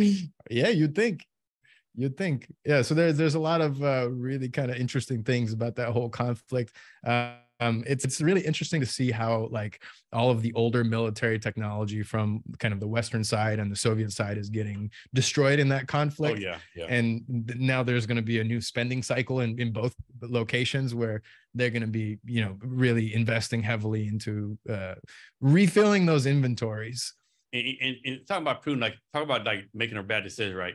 So you invade Ukraine to keep them from joining NATO, but now like Finland, other countries that joined NATO and like double your, your border with NATO, like all the bad publicity getting almost had a civil war a couple of days ago. Like he has to be thinking like, man, I fucked this up, right? Or maybe he says all these yes men saying, "Oh, it's going great for you, Vladimir Putin. You're the best leader ever." Like we, we just don't know what's going through his head. it's it's hard to say i mean uh, there's definitely a, a point when somebody thinks they're invincible Mhm. you know Oh, when yeah. when you've run a country for so long and it's as it's the biggest country in the world Yeah. like no matter what you say about how incompetent the russian military is et cetera certainly there's some arguments on, on that side but running the the biggest landmass in the world that Yeah. takes a lot of Yeah. of like um uh, government power um i think that if at a certain point you feel that your whole system is under threat and you have to pull out all the stops Yeah. and maybe putin does feel like he's in a corner maybe maybe they feel like because there's there's people on on the american side openly talking about splitting russia up Yeah. you know and how it's not fair that they got all these resources et cetera et cetera right so uh, in in putin's position maybe you're thinking well, this is do or die like i, Yeah. I better make some stuff happen Um, if you put you, you got you know nuclear weapons here. France has them. Spain has them. All these countries on your doorstep. You know they're encroaching you. You know, Poland, Poland's in NATO. I think Hungary's in NATO. You know, Ukraine might be gone. So you're seeing all your Soviet, Soviet, Soviet, Soviet Union bloc countries like going to NATO. You're like, What are you doing? And you're right. Like, I, no one had any clue how the U.S. Uh, the, I mean, the Russian army was right. Had no idea. Like, like the United States, like today, we could probably put twenty thousand people in any country in the world and go to war with them, right? Like instantly, right? They can't even fucking invade a country next door, right? Like the logistics lines all jacked up, you know. They have no logistics, all this messed up, you know. Like we we had no clue, and like they haven't, they don't have, they don't control the air in Ukraine yet, right? Like how you not control if you're a Russia, how you not control the air in Ukraine, right? Yeah, that's mind to me. That's that's one thing to me was mind boggling. How you not control the air in Ukraine? I mean, again, on, on on the other side of the coin, you still have oil and gas that's transiting through Ukraine. Yeah, Ukraine's yeah. getting paid for that yeah. from from Russia. Like, is it is it really a war? Are they? I mean, it's it's hard to say exactly what's going on. I think um, the the Russians have this this military term called maskirovka, mm-hmm. which is um, like. Uh, uh, a facade, a de- deceit tactic Yeah. where you you you make it appear one way, and um, in, in actual fact, it's it's you're you're doing something completely Yeah. different. What concerns me, like Ukraine is like known as like being the most, most uh, one of the most corrupt countries in the world, right? We're sending them billions of dollars in, in whatever it is, like arms fund, whatever. Like, I have to think how much is, it- is getting siphoned off, right? Yeah, the same thing happened in Afghanistan. When I was there, we sent all this money to Afghanistan, and we all knew in the in the army, like that the leader of Afghanistan like siphoned this money off, right? I mean, Yeah. it's just a known fact. He was like taking money off for his own, right? Oh, and in the end, you saw him, you know, with suitcases of cash in his helicopter. out, yeah. It was like over a hundred million dollars or Yeah. something like that, or, or tens of millions at least. So we like we bankrolled this guy to, to, to, abandon this country. Right, right, and then so of it's the same course, thing happening in Ukraine, right? of course, you've also got the the Hunter Biden Burisma stuff over there, Yeah. which is like that's an that's another deal. I'm, it's hard it's hard to say what's legit, what's not, um, or whether they hired him just to get in closer to the U.S. government, or whether he was actually providing, you know, some some Yeah. legit services. Um, yeah, so there- there's all sorts of things going on with that. But I mean, on the other hand, on the other hand, you have in America, we a lot of our growth, a lot of our key technologies are developed in the military. Yeah. Oh yeah. And and so the internet came from the Department of Defense. I think no matter what happens in Ukraine, America is gonna come out with a net net positive. Yeah, I think so too. Yeah. And, and, and obviously Ukraine, it wasn't for us as a NATO country giving them weapons and money, they would have been taken over by now. Oh yeah. So it's I don't know. And then like I remember this. There's a, a there's a retired journal that came out like CNN or Fox News one day when, when uh, it was like two months to the war with Ukraine, and the general said like I'm gonna get a lot of flack for this, but the Russian military, I equate them to the to the Vermont National Guard with nuclear weapons. Like no one's scared of the Vermont National Guard, but have nuclear weapons, we all be fucking scared of them, right? yeah. Yeah. Like damn. Yeah, no, I mean there, there's a lot of um a lot of noise going on, a lot of people talking loudly, but I think the truth is somewhere kind of in the middle where you know, I, I'm there's there's a lot of kind of um conspiracy uh how you know the the uh Russian spy chief and the American spy chief are meeting up and uh, some people are saying some of this might be coordinated Yeah. where both the US and Russia are kind of getting rid of their old weapons and getting ready to ramp up spending to Yeah. refill those inventories. And and that's how economic cycles um Yeah. that, that has a huge impact on on our economy. Uh American weapons are probably the best in the world. Oh, yeah, yeah. There's there's certain categories where the Russians have some really good stuff Mm. like electronic warfare. Um and uh I think that what's true without a doubt is that American weapons are the most expensive in the world. Oh yeah. Oh yeah. So they, they all come with a big fat price tag. And Yeah. uh, no matter what you think of how effective they are, we're going to be spending a lot of money in the coming coming uh, Oh, you know few years or decades to build finally. Another bill, we're building like new warships, new destroyers. I mean, Right. Right. something to a country, and you, all of a sudden you see like four American warships off, off, Right. off your off your coastline. Like that's a pretty powerful message. Yeah, exactly. Exactly. So I don't know. I can't help but be cynical, you know, Yeah. where, where it's like how how much of the how much of this is solved in backroom deals I know, right? already. Yeah. Zelensky is uh, certainly absolutely brave, but Oh yeah, he's definitely stepped up. Like who would have imagined this comedian would be such a great leader? You know, at least give the appearance of being a great leader, right? I mean, yeah, but on the other hand, he is an actor. yeah, and it, it does seem like he's you know it's like um, this role was made for him. like joe biden you're reading from a certain teleprompter Yeah, right and yeah, you've got a pr team around Yeah. you making sure everything's going according to plan that you're giving the right image um yeah so i don't know i can't help but be cynical maybe i'm completely wrong yeah. of course, the worst case scenario for a lot of Americans are like you know talk about in the news like you know, this war is going to drive Russia to be better partners with China, and China and Russia going to combine and you know go go against us. You know, it's really interesting you mentioned that. Actually, um, uh, you've heard of 1984, I assume, right? George Orwell, uh, really famous novel. He talks about Big Brother, the surveillance state, all those concepts. But what a lot of people don't really know about that book is George Orwell has some really interesting ideas about geopolitics and economics. He talks about um, three major world powers Oceania, East Asia, and Eurasia, uh, which kind of loosely correspond to the US, uh, Russia, and China. And what he said is um, there's always two of those kind of powers that are at war with the other one. And every so often, every generation or so, they'll switch it up. So you'll have um, the two weaker ones team up against the stronger one. And when that stronger one goes through a crisis or falls, then there's a switching of the guard. One of them will rise up, and then the other two will yeah. team up to fight against it. So maybe we are seeing this cycle at play where China's kind of taking a neutral side and Russia's really rolling the dice on this big conflict with the United States, where there's a chance that this could end pretty badly for us in America if if there's some um, some loss of the dollar dominance. We could have some really big financial crises yeah. here, and who's going to win out of that? China. Yeah. And and so you know hypothetically you could have this cycle play where China rises up, Russia's rising, and then the United States and Russia work together to go after China over the next 20 years. And that's kind of like defining our our generation or our new generation. And can you imagine if you're not one of those countries, imagine like you're like, I don't know, Peru or Brazil or like, you know, Switzerland, like your your whole future of your country is like determined by what the other three countries are doing, right? Yeah. And there's really nothing you do about it. Yeah. Except except hope to pick the right side that you're on. Yeah, yeah. What what else is interesting about Orwell? So he he also talked about how um, production of military goods is like willful destruction of human labor. So uh, his his idea is that if if human beings are producing goods, then gradually our standard of living increases. Um, but if our labor is put into material that's intended to be destroyed, when you drop those bombs, you're destroying that labor. Yeah. So you're kind of like preventing the standard of living from going too high which is also really interesting. I mean, I think, think good about. example. I was talking about us like protecting Japan and Korea. Like think of all the money Japan Korea did not have to use on military stuff that they right. invest in in the infrastructure. Like people don't realize like if you go to Korea, they're, they're so much more advanced than we are, right? Like we lived for three years back in 2005, 2008. We're getting there, seeing satellite TVs on, on the on the roofs. You're like mm-hmm. internet speed like insanely fast, right? Yeah. I can't imagine what it's like now, 20, like almost 20 years later, right? Yeah. Like Korea, I know Korea is like stuff like so more advanced technology than we are.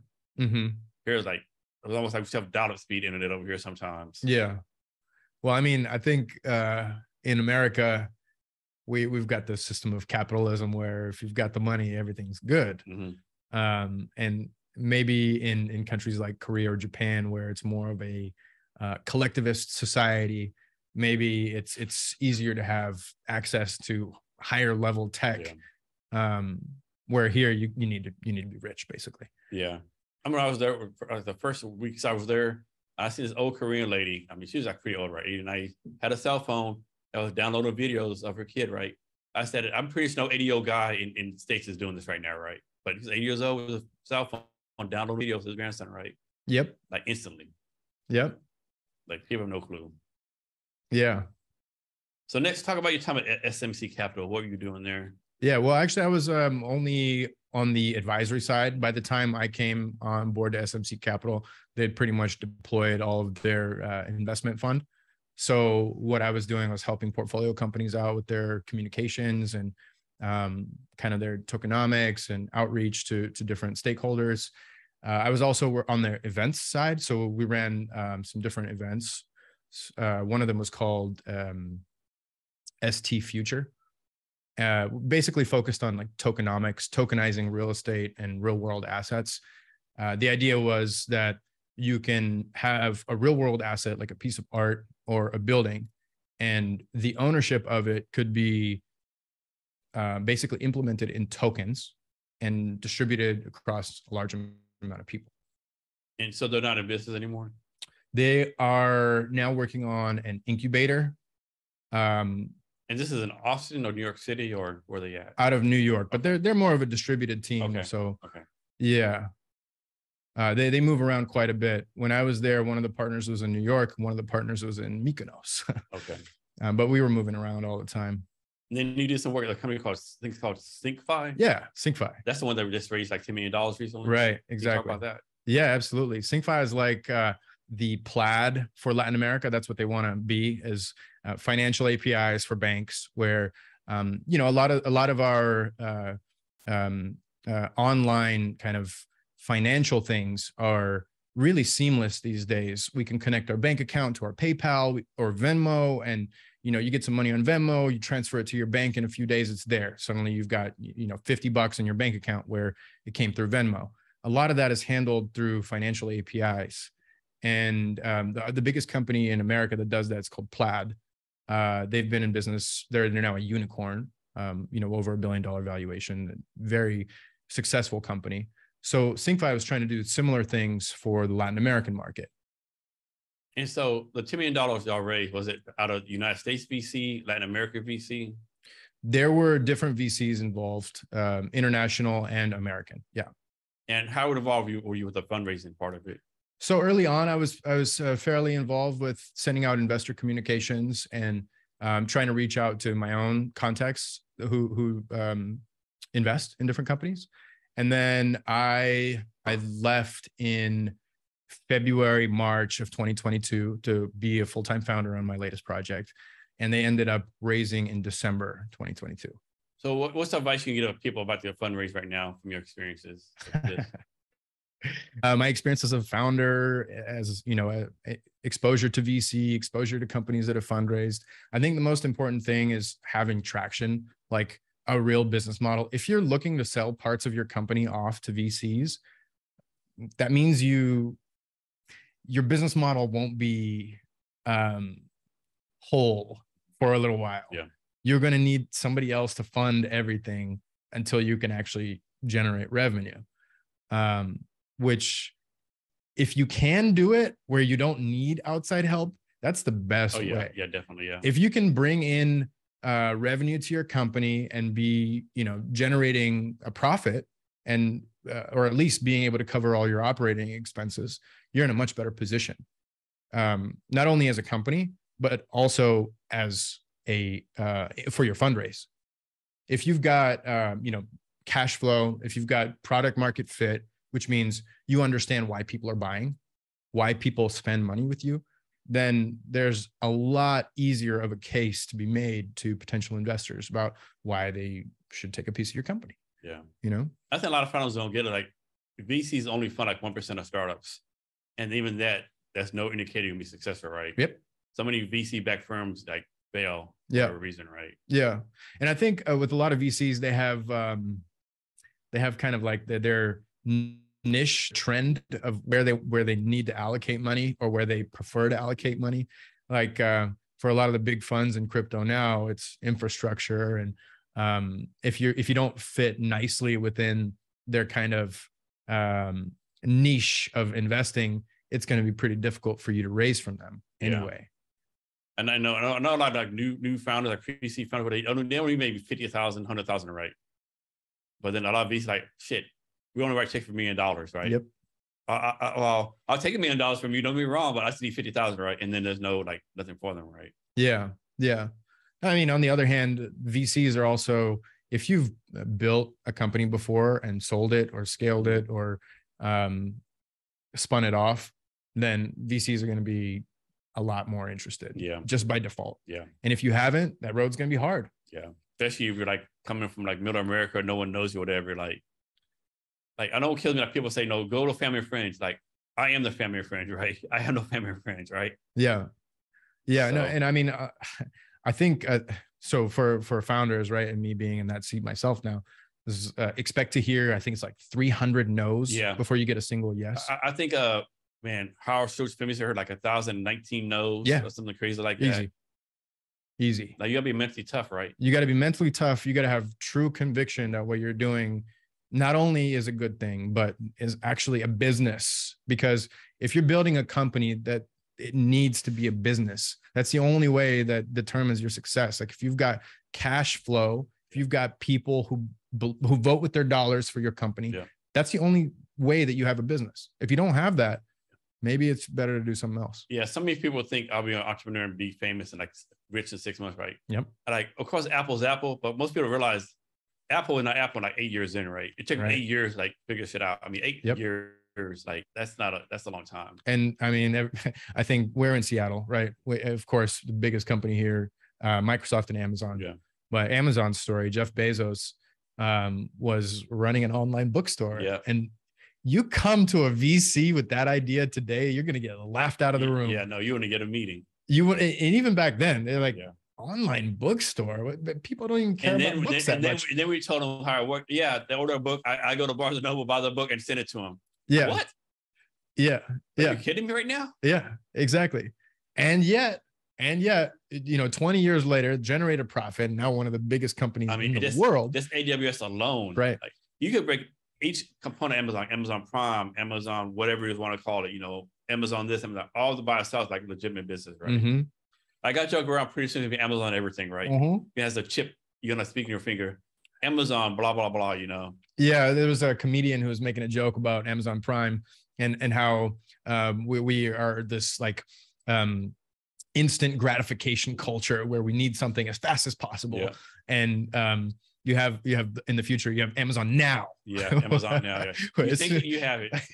yeah, exactly. You And then you'll have Amazon before, Oh yeah. where They it- read your the, mind. the yeah. AI can like figure out when your light bulb's coming out, and I know, right? you- Yeah. you, get something in your door as soon as you open the package. Suddenly, bzz, bzz, bzz, and your light bulb goes out, and you realize why you need this thing. I mean, it's a good time we're living in. I think you know, like a lot of people say this is the worst time ever. Like, no, it's not. Like, bubonic plague, uh, Europe was the worst time ever, right? You know, like the the Nazi war camps or com, uh, concentration camps, worst time ever. Right now, I don't know if we're leaving the worst time ever, right? well, who who was saying? Uh, I think it was Charles Dickens. It was the best of times. It was Yeah. the worst of times. Yeah. This is kind of like we have totally different problems now. We have uh, um, a, a serious kind of like mental health Yeah, problem. We- especially here in Seattle. we were talking about kids who are obsessed with their phones from the from the time they're waddling around in diapers and how does that super addicting technology how is that going to like affect our mental health even 10 years down the road I know. like what, what's the generation even going to look like Just the this the the screen coming to your eyes twenty four seven, right? yeah Is that like maybe forty years from now, they're gonna like you know, I'll make this up. Like right now, if we say twenty percent of people wear glasses, it's forty years. Like eighty nine percent of people have to wear glasses because like that damage to retinas through like eye glare, what do you call it? You know, yeah yeah I don't know. It's definitely advantages to being now. Of course, disadvantage. You know, like I don't know. It's interesting times. how about your founder journey what what are you uh uh excited for and i mean how's it been being a founder with like from the mental health aspect Uh, first of all, it, it's it's it, I ain't like if I could suck sometimes, you know. yes i know like like in my mind where I'm at right now, I should be here a year and a half ago. Mm. And like I made mistakes like hiring the wrong tech people, making wrong decisions, following wrong advice. No matter the advice was given like in a good spirit, good attempt, like you know, this for sure and then of course you lose momentum. yeah So like life stuff happens, you know, like you might have a personal emergency you got to take care of, or like right or then you of course you like like take shiny, you know, chase shiny objects, right? yeah Or, or waste time like helping someone else, thinking if you get help them else can help you out, then then like they go out of business, then you're like, fuck, like shit, I just wasted six months of my time. yep Um, but but you just have you gotta have like a conviction, right? You gotta believe what you're doing, right? Right. Yeah, for sure. You have a path, like like I want to say small business owners time and money HR, right? That's what I want to do. That's my like core piece, but it's it's not easy, right? And of course, people come along like it's, it's kind of like people like, oh, Jason, you're over social media, you must you're killing it. You, I know you make a lot of money. Well, actually, I'm not right. That's like all smoke and mirrors, right? What you got to do to make people to. think you're successful, right? Like no one's gonna buy shit from you. Like it, like if you Google me, stuff comes up. So hopefully, I help you about get customers. No one's gonna buy something from you. if They Google you and nothing comes out right. Yeah, You gotta have some kind of credibility, so to speak, right? right. Somebody, people backing you up, like. But it's, it's not an easy journey, right? And of course, people are like, "Oh, you should do this, you do that." It's not that easy, right? How long you been doing it?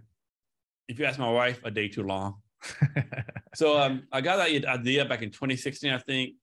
I did the LLC in 2017. I still working in different companies. I did the um, corporation in 2018.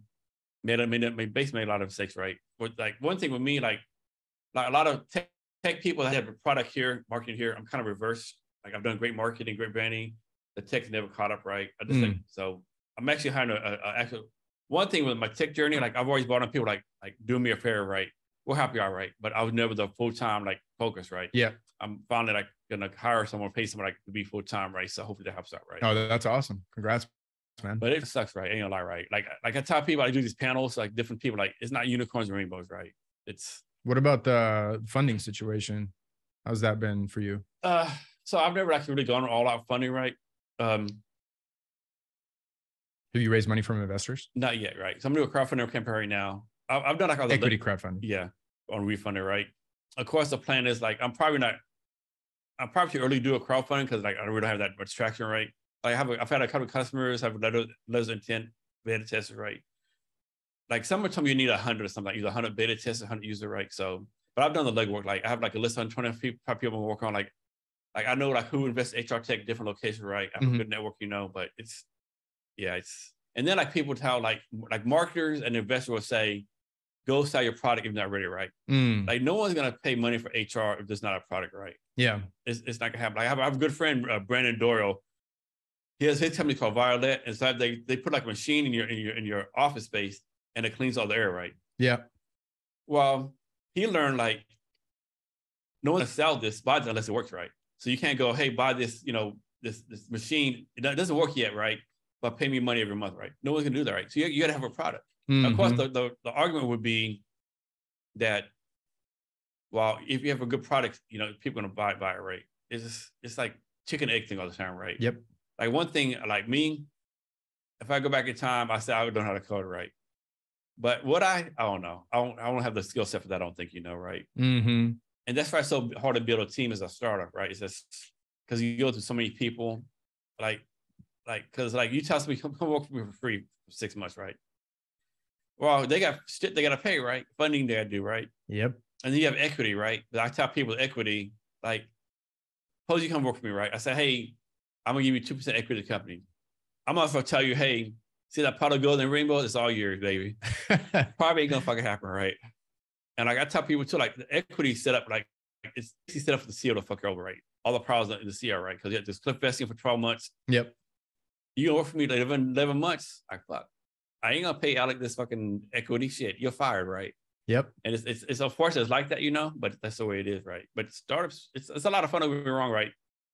Like you can like maybe a Tuesday afternoon, take an hour off, have a beer with a friend, you know. Yeah. it's it's it's a hassle, right? Or like a lot of people. Two things. If you want to make a lot of money, you probably just need to get a regular job. And number two, if you're a founder, you probably need to get a mental health checkup. But like you have to be fucking mentally insane to just do this shit right. Yeah. I, yeah. Uh, guilty. it's, yeah. And as far as taking care of yourself, like people say, oh, I wake up in the morning, I fucking do, you know, meditations, exercise. I try to do that once in a while, but a lot of times I wake up in the morning, get on the phone, and go to work, right? I mean, it's like there's so much time in the day, right? Yeah.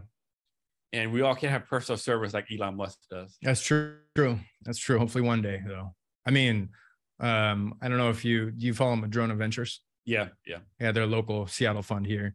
Um, I followed them on LinkedIn, uh, and it, it's interesting seeing the kind of companies that they're looking at and mm-hmm. investing at, uh, investing in. I think uh, what's what's really big. Obviously, we're in a hype cycle for AI right yeah. now. If you're an AI company doing AI infrastructure, so Madrona, they had an event a couple weeks ago I went to. They, it was like a based on AI founders and stuff. They had all the AI founders doing a panel and stuff. You know, nice. That's pretty good. But they're talking about uh, AI agents who can, you know, be your personal assistants.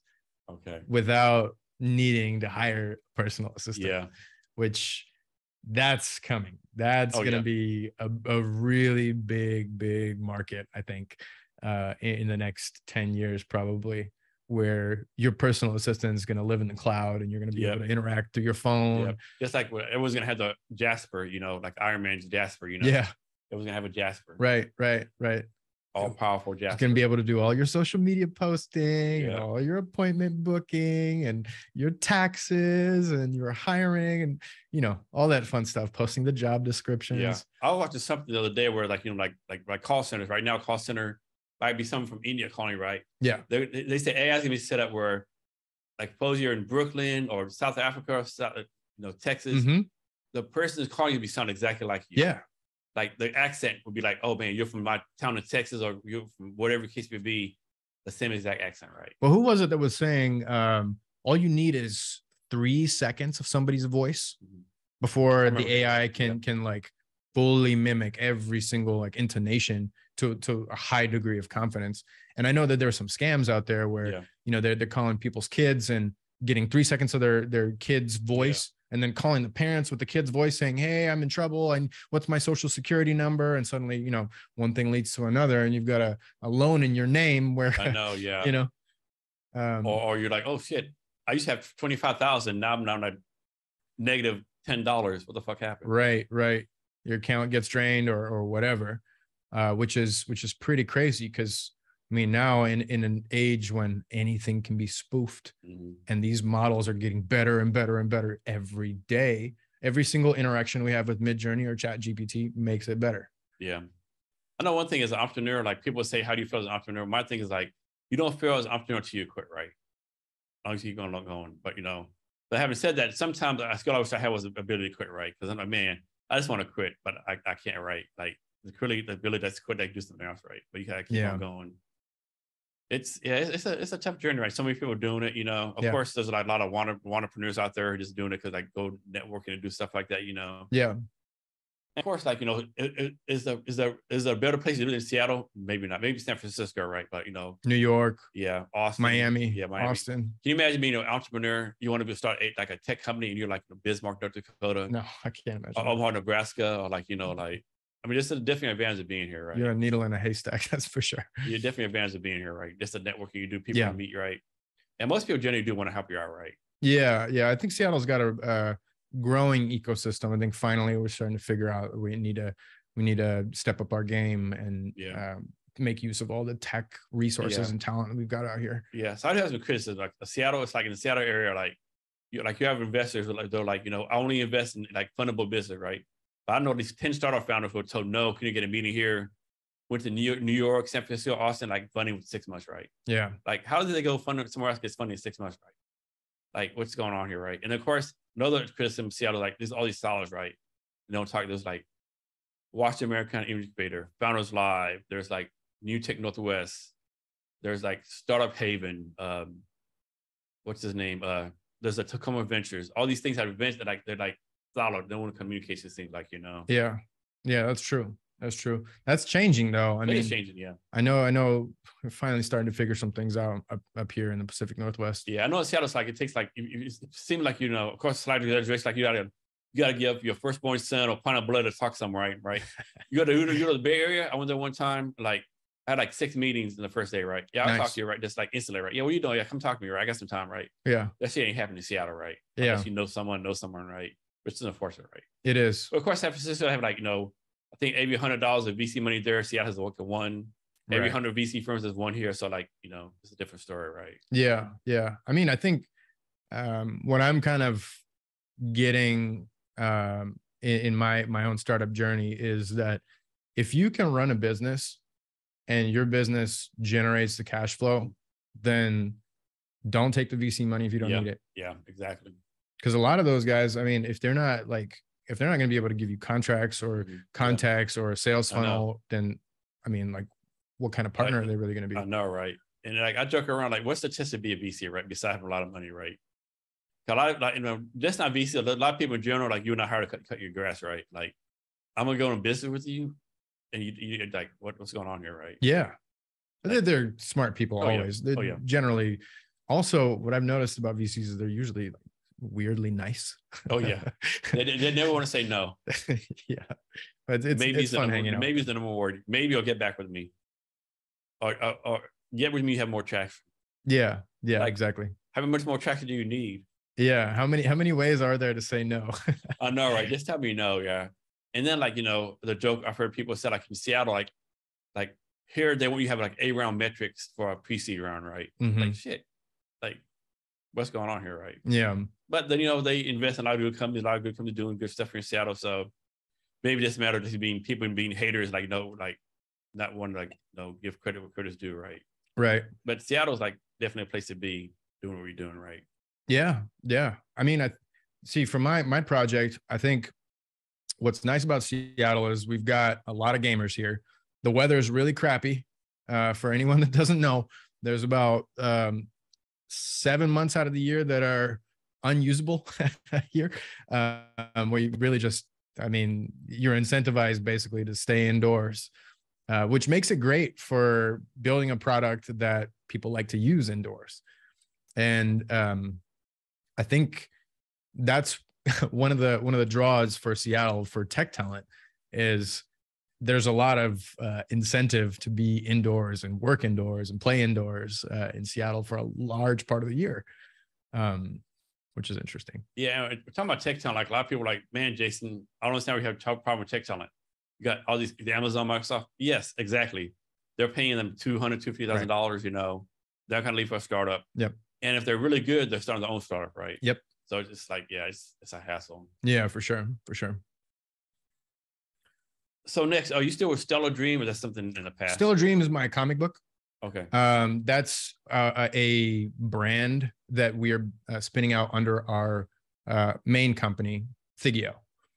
So uh, the main company that I'm building is Thigio. It's an entertainment technology company. We've got a few different products that we're building, including a digital interactive comic book and a uh, hybrid physical digital board game, which we'll be spinning out into a fully digital game as well. Um, yeah, we're building the technology in house. We um, have a lot of commitments to GitHub and um, we've got a lot of user testing going on. What's really interesting about a physical digital product, like a, a board game, mobile game, is that when you're playing in person with people, you can iterate really quickly. Uh, so you can see how people really react and adjust the game as needed based on real experiences that you get to see firsthand. Okay. Yeah. And so it's like under your Thigio brand? Right. Okay. Yeah. So you you you've done like pitching for your company before, like you like you did Founders Live recently. Oh right? yeah. How how was that experience? Founders Live, it's great. I mean, um, I think being able to synthesize your pitch in 99 seconds That's fucking tough. is tough. I did it last. That's fucking just tough. It's tough, and um, uh, you know, it's it's part of it is being able to tell a good story. Really enjoyed working with uh, some of the storyteller um, kind of resources that Founders Live provides. Yeah, they provide you a coach for free, all kind of stuff. Right, right. And it helped me refine my own pitch. Um, so I've got it down to where I can tell a story in under three minutes. Okay. Uh, and, and it's really helpful, I think.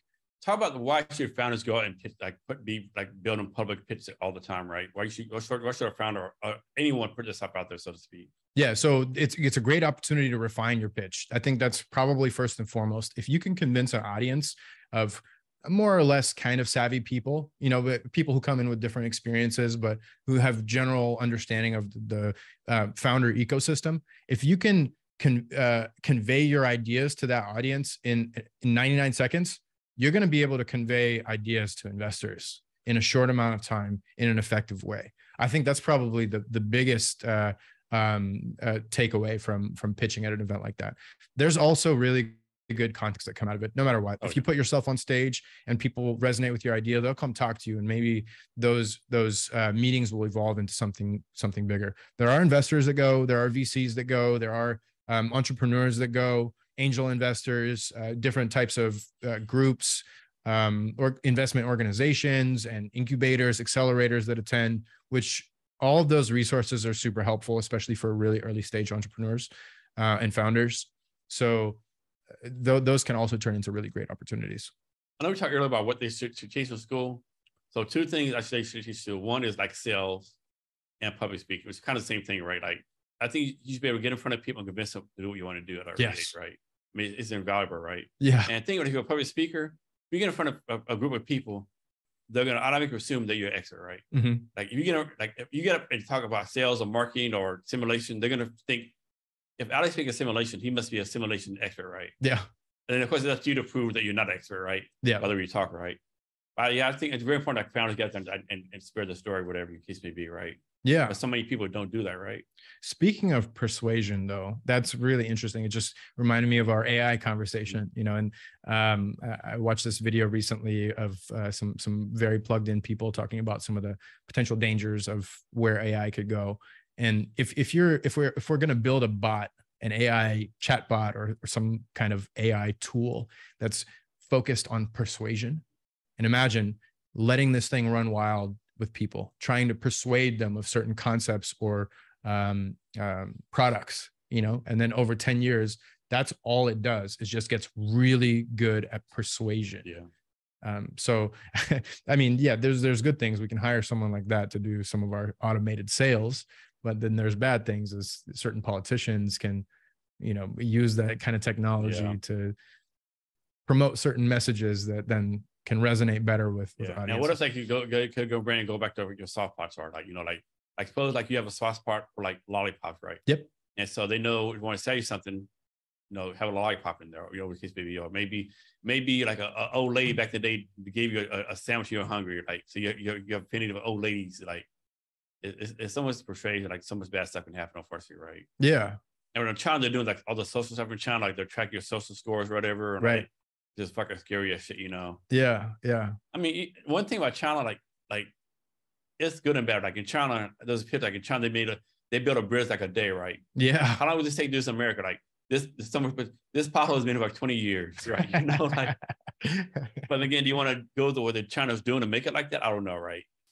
It's, it's scary and impressive too, right? yeah, it's impressive. You build a city, but then if there's no, no one that lives, what's the point of the city? Yeah. Just like the city they're building, I think Saudi Arabia, is like they put like 10 million people in a two block area or something crazy like that, you know, like, I mean, I, I, I'm thinking like all the rats, all the roaches, all the feces, all the race, you know. But I guess I have a plan to get all out there, right?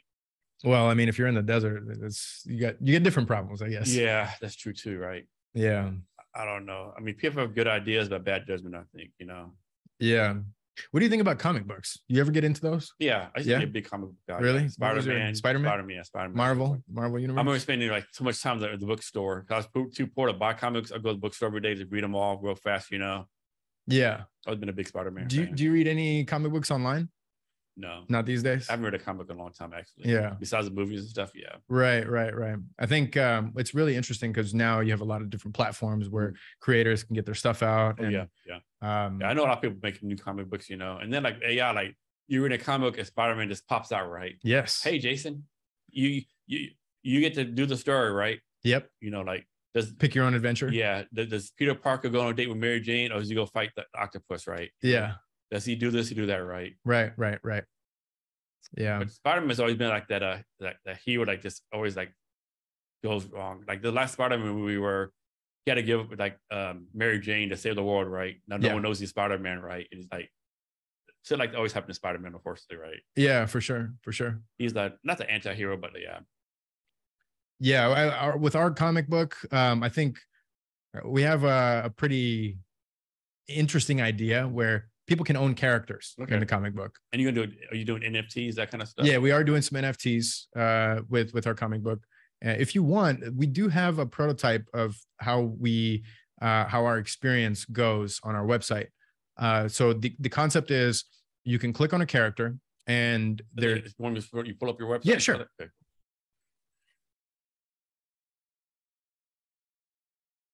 this one here right Yeah. So if you scroll down, oh, that's that means I need to go renew my parking pretty soon. Okay. Uh, if you scroll down, there is a uh, keep going a little bit further. There's a section called Stellar Dream.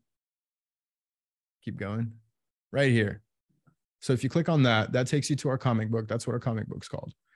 And what our concept is, if you hover over one of these characters, it highlights. And when you click on it, you can then click on this image and it'll take you to the character. So that's kind of the concept that we're building right now. so, so off topic like how, how do you decide how to design these characters like someone design for you Do you did like some kind of user testing Our co-founder is in Tokyo. Okay. Uh, well, outside of Tokyo, he's uh, worked in the the gaming and kind of uh, illustration illustration Okay. scene for, for quite a while. So for with these characters, we actually based them on real people.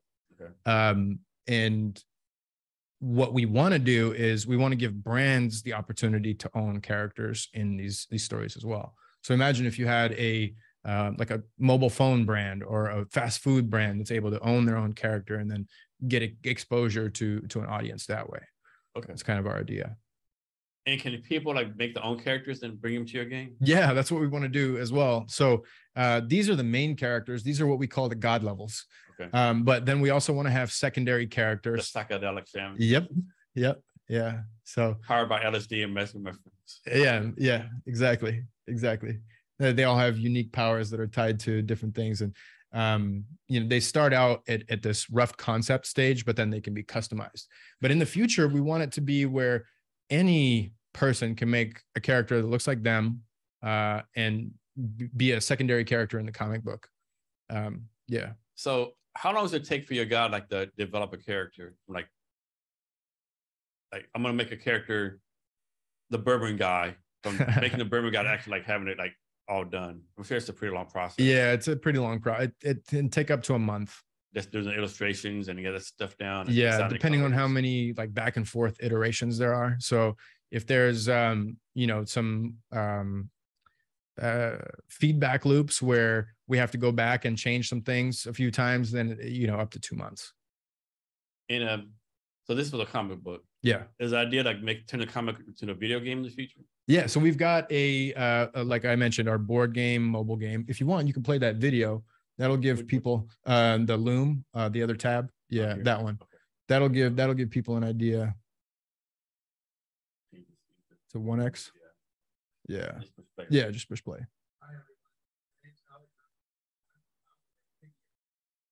Last summer, I created a game with my nephew.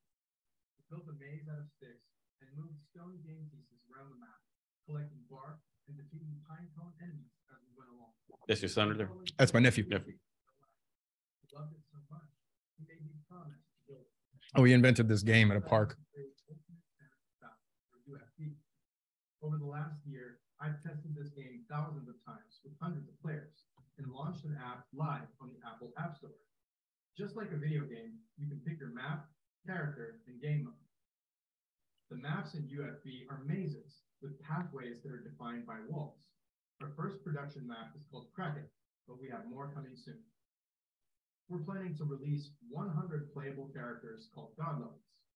Each of these collectible game characters will have its own unique ultimate move that can change the course of the game when you use it. When you connect to a room in UFB, the app randomizes the game pieces and tells you where to place them on the board. It tracks your stats and inventory and handles all of the attacks. You start out with a certain amount of energy that you can increase by collecting treasures and defeating monsters. You can use energy to move across the board or attack, and your ultimate goal is to defeat the other players. Having an app opens up a world of possibilities. In the future, we want to launch a cooperative game mode. We also want to add animations for every attack and action. We're open sourcing the Unity code so fans can create their own game modes and kids can learn how to code. Imagine being able to create your own custom character or game map and getting them delivered to your door. We're excited to be building an augmented reality version of our game as well. UFB is connected to our original comic book called Stellar Dream. Each of the god levels is a character in the comic book as well. What's unique about our technology is you can click on a character and find out more information. UFB is at the crossroads of video games, mobile games, board games, and comic books, some of the biggest markets in the entertainment space. We can do some really cool and fun things in the space as we grow. We also want to release a fully digital version of our game in the future. We're a team of developers, artists, and nerds with experience in gaming. You said a nerds. Yeah. That's why we believe we're the right team to make this happen.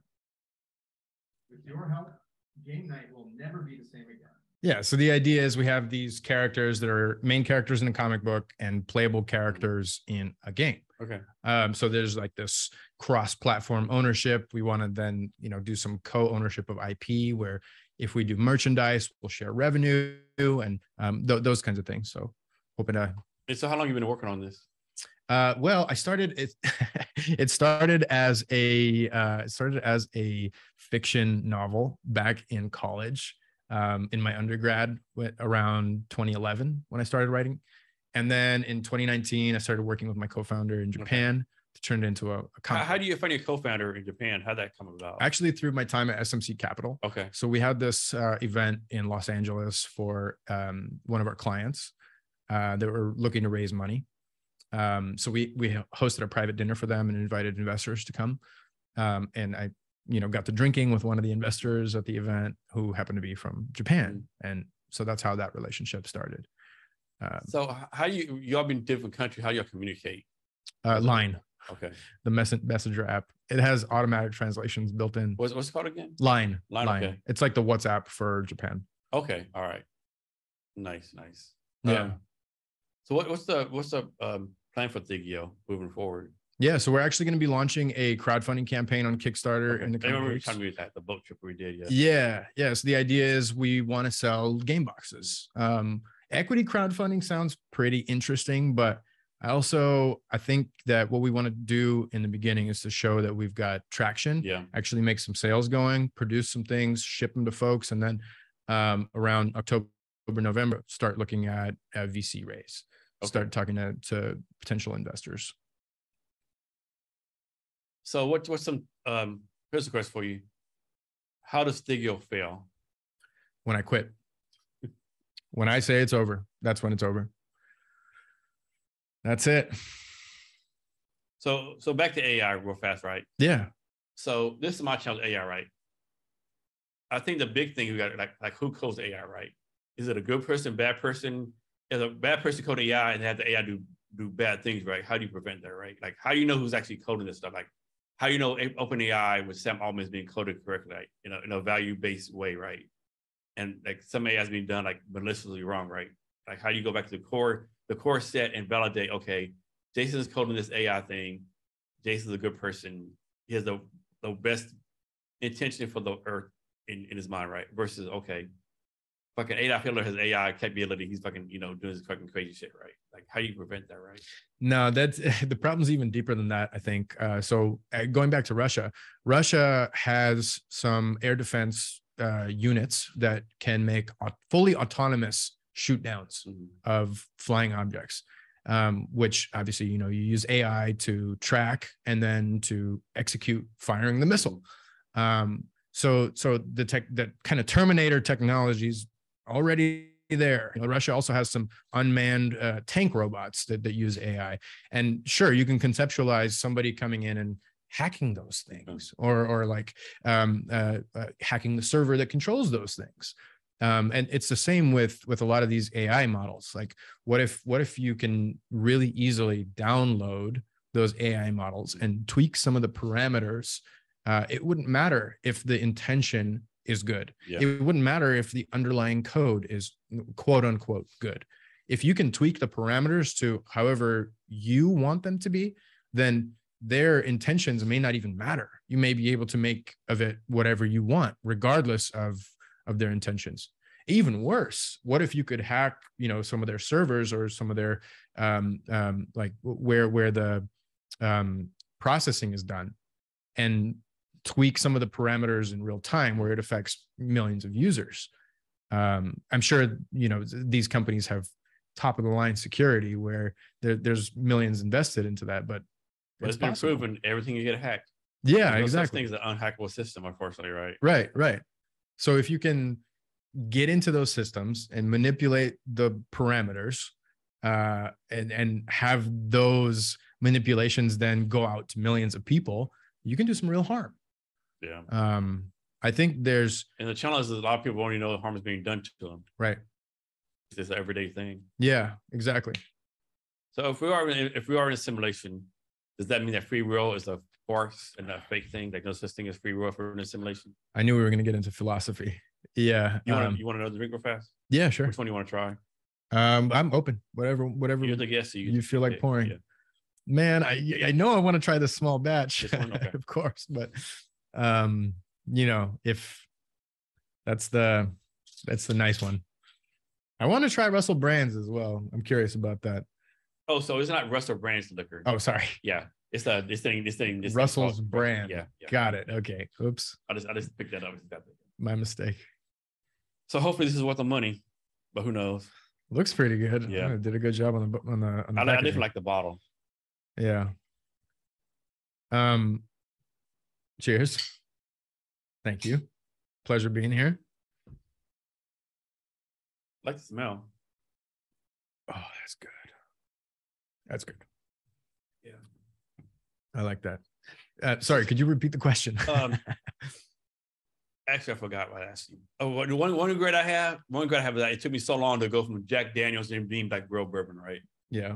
Like I wasted so many years drinking fucking crap bourbon, right? Yeah. This and first of all, like who realizes there's like literally hundreds and thousands of bourbons in the world, right? Yeah. You go to a liquor store, like I, I, I have a friend in Houston. He has like a he has a bar. He has a hundred bottles of bourbon, Yeah. All different. different places, yeah, different tastes, yeah. You were asking something about simulation. Oh yeah, it's oh yeah, it's a if you're a simulation, does that mean free will is a fucking fake free will. thing? Right. Free will. I'm glad we got a drink How- before that. How can it be free will if we're in a simulation? It's it's really interesting that you mentioned that. Uh, in, in my TEDx talk, um, back in 2017, the Japanese were working on this robot. Uh, I think it was called Alter.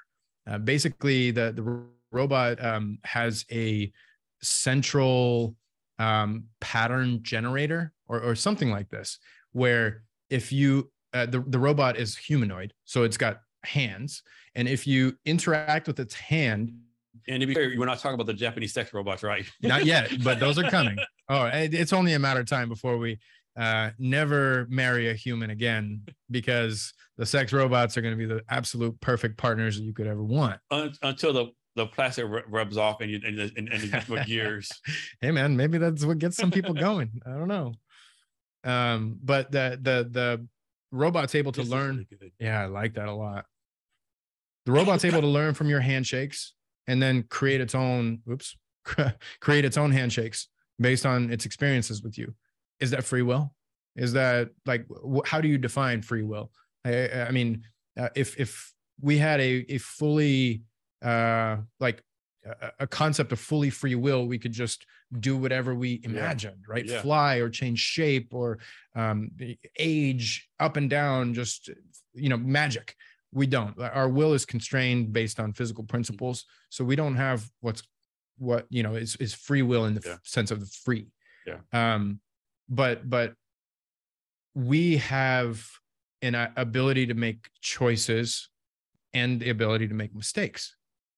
Um, and will AI replace that? That's what you're kind of wondering, yeah, right? yeah.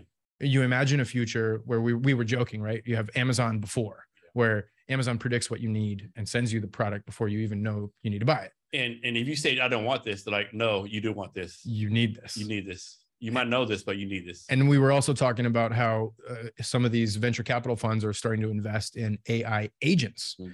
And some of these agents are handling all your social media, right? So you can imagine if this technology starts to really gain some traction, where you have a social media that's just full of AI talking Yeah. to each other, where literally all the messages, all the replies, all the comments, all the likes are just Yeah. AI gaming the algorithm. Yeah. And nobody even needs to bother writing real stuff anymore because- fake, so to speak. because the AI knows what we want to see more than we do and is able to game these um, algorithms so much better than we are uh, to to like basically make it a playground for for robots. Um, what happens in that case? What happens when our we were joking about sex robots, but I don't think I don't think this is a joke, man. I think uh, like if we can get that cost low enough Mhm. and you get uh, AI to basically inhabit a humanoid robot that can look exactly like you want with all the you know the Some finer do details. some cost analysis. You know, I bought this robot for we'll say two hundred thousand dollars, but I don't have to pay for a date and have to do this and have to do that. No divorce. Yeah, I just you know, keep my money, you know, and this, yeah, yeah exactly exactly. And and i mean yeah so the robot you you think maybe it'll be too nice and we'll miss some of that you know pushback but that's not hard to program either. No, yeah, you can you can have a little bit of pushback in the robots as well. And suddenly like you you have a question like why do we why do we need um why do we need human interaction yeah. anymore Like uh, uh, talking back to Rick and Morty's episode where you we we went back to time, like when is uh, when is reality, right? And so when his, his he was married before his wife died, he put like this robot, like this voice to be like his wife, right? That's like knowing as fuck, push your back, like you suck, you know, Yeah. like blah blah. Like oh, now no, I never come back here. I, I programmed you too good, right? Let me get me get the hell out of here, you know? yeah, exactly. I mean, in that kind of world, like what what what are we what are we living for? Like when we can have AI replace a lot of our human experiences and um and human needs, like basically satisfy them to a T. What what is free will in that sense? Are we just ready Is- for the metaverse at Is it that really point? free will? is like people tell you do over and over again, right? You remember the movie The Matrix? Yeah. When Neo comes and meets Agent Smith for the Mhm. first time in that high rise, and uh, Agent Smith tells him, We've actually created six simulations in the Mhm. past. Yeah. And unfortunately, you didn't buy it when we made it perfect. Yeah. We made a perfect world and you hated it. Yeah. So we made this world where there's some uncertainty and challenges, and that's where we are. That's the matrix. Um, so in a sense, maybe you know you have in history you have these big collapses like the mayan civilization disappeared um, in a sense we can imagine a world where it's just no reason to live in it anymore no reason to engage with it anymore you're just it's just there to maximize your desires and wants and plug every hole that you didn't even know you had Have you heard this? I have no idea if it's true or not. I should actually research this. But supposedly, the Matrix and Terminator are, are tied together. The person, one person wrote both of those stories supposedly, and they're tied together. really Yeah, I got to need to research that. i have not heard yeah, that matter of fact, let me get that real fast. I know the Wachowskis, who are now the Wachowski sisters, if I'm not mistaken, or previously the Wachowski brothers. Um, I, I'm pretty sure they wrote The Matrix, but we might have to double check. Despite being very different films, both Terminator and Matrix explore the idea of a future where machines take over.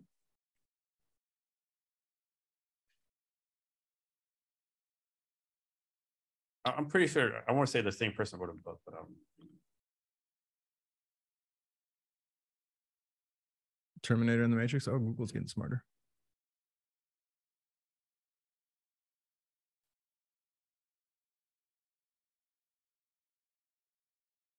oh, And shit, there you go. I didn't make it up. Yeah, no, I mean, I think uh, they they come from the same kernel Yeah. of of thought, but the authors are are different. No, it's, no, it's, it's, it's the same author. This one lady wrote it. I, I think she's an author of a Oh, no, yeah, you're right. So Sophie Stewart claims her 1981 unpublished book called Third Eye, blah, blah, blah. formed the basis. Yeah, okay. Yeah. So there's something to it, but not as much as I think. Yeah, no, I mean, I think we we have uh, this this habit of standing on the shoulders of giants, Mhm. right? Where Yeah. a lot of the greatest work comes from smaller works Yeah. that people have created with original thought, which are also based on previous things, and we're building on top of what happened in the past. So, without a doubt, there's you know they they come from the same root. Um, I I think that. Yeah, we're we're exploring some really uncharted terrain now. Another thing too, like, like people don't realize how far advanced we've come, right? Like, I listened to one podcast, this guy, like, it's unbelievable. I've come from playing Pong to AI, right? In one generation, right? Yep, I mean, what's the word where like you double everything, like everything's like double, double, double? Moore's law. Yes, yeah. Like people don't realize that's a real deal, right? In, in everything, right? So far, it's been we're getting it's like been holding we're, constant. we're yeah. not like gone back in, in advancement, except I, I guess back in the day when the the library of uh, Alexandria got destroyed, we lost all the knowledge. Right. Of course, we're back in time then, but usually like, like you get smarter, smarter, yeah, tech gets better. It's, it's some amazing things, amazing things going on. Yeah, for sure. I There's some mean, scary shit going on too. they also say that eh, the whatever we have now in the mainstream consciousness, that the the military is about twenty years ahead of us. Oh yeah, You know, Yeah. and uh, we I, I mentioned briefly, right? eh, Where did the internet come from? It's a invention of the Pentagon, Yeah, you know, Pentagon, yeah. Department of Defense, Yeah. uh, all all those those guys. So um, they've had AI technology for quite a while now. Oh, yeah. They've been experimenting with it, and like, yeah. I mean, in a certain sense, I don't think that we can release AI into the public without having the stamp of approval Yeah. from the Department of Defense. Like they need to know that terrorists or whatever bad actors aren't going to be able to use this act to reverse engineer a nuclear bomb, for example, right? Or create some sort of death laser, you know? Yeah. Um, and with the military, like, all, like you hear all these, all these UFO sightings, right? Is it UFOs or is this the military doing stuff, right? Mm, Can you remember when the South when the Stealth bomber first came out back in the like late nineties, whatever it was? Like, Yeah. it's amazing. Oh shit! now everyone has stealth technology, right? So what's the next level? You know, I'm a cynic. I'm a cynic. I always think that like you've seen that movie Wag the Dog, Mhm. yeah, where you know news cycles and media reporting. There's there's sometimes it's you know genuine, but other times it's like you play the hype to distract from other things that Yeah, are going on. Like uh, I don't know who who was uh, who who it was that was reporting on that submarine, but apparently the the um, the the White House knew that it was a lost cause early on, you know, and rest in peace to to everyone involved. But then you're you're kind of milking this unfortunate event Yeah. to distract from certain other things like maybe Hunter Biden's. yeah. I mean, what is the real or- news story, right? Right, exactly, exactly. And you know, maybe there's like a I don't know another deadly disease being ma- manufactured somewhere not going to report it on, right? Right, right, And then what what what what's important to one person might be important to someone else, right? exactly, exactly. Like, you know, maybe a famous singer dies over the news. Like, I didn't like your music. Why, why Morrison this is, you know, like, of course, all the local stuff going to different cities and stuff, you know. And it's almost like there's so much information out there, right? Yeah, absolutely. Like, no one knows what's important to you. I don't know. It's Drowning in information, that's for sure. and how you like decipher it and do all that stuff. yeah. It's- I don't know. Sometimes I think ignorance is bliss, right? Yeah, well, like like we were talking earlier, the best of times, the worst of times. You know, there's a double-edged sword. It's a two-headed or two-sided coin. Um, what do we do?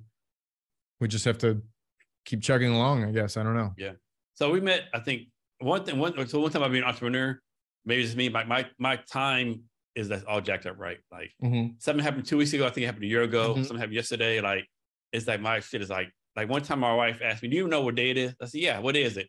It's the day that ends with a little Y. Like, what else do you know, right? But we met like recently on a, on a, on a boat cruise with W. It was a Star Two Five Three. Uh, Maritime Blue. so why what's why why is it important like uh, us like get out of network meet meet new people? Yeah, no, I think uh, human interaction exposes you to different ideas and different people. You never know who you're going to meet. You never know um, if your meeting is going to turn into a podcast uh, in a few weeks, or if you're going to suddenly get some revolutionary idea from from somebody that transforms your business, or if you're going to find your co-founder or somebody that's going to you know build some things for your company that can really move your product along forward. I think networking is really important. Being open to different relationships and different people is really important.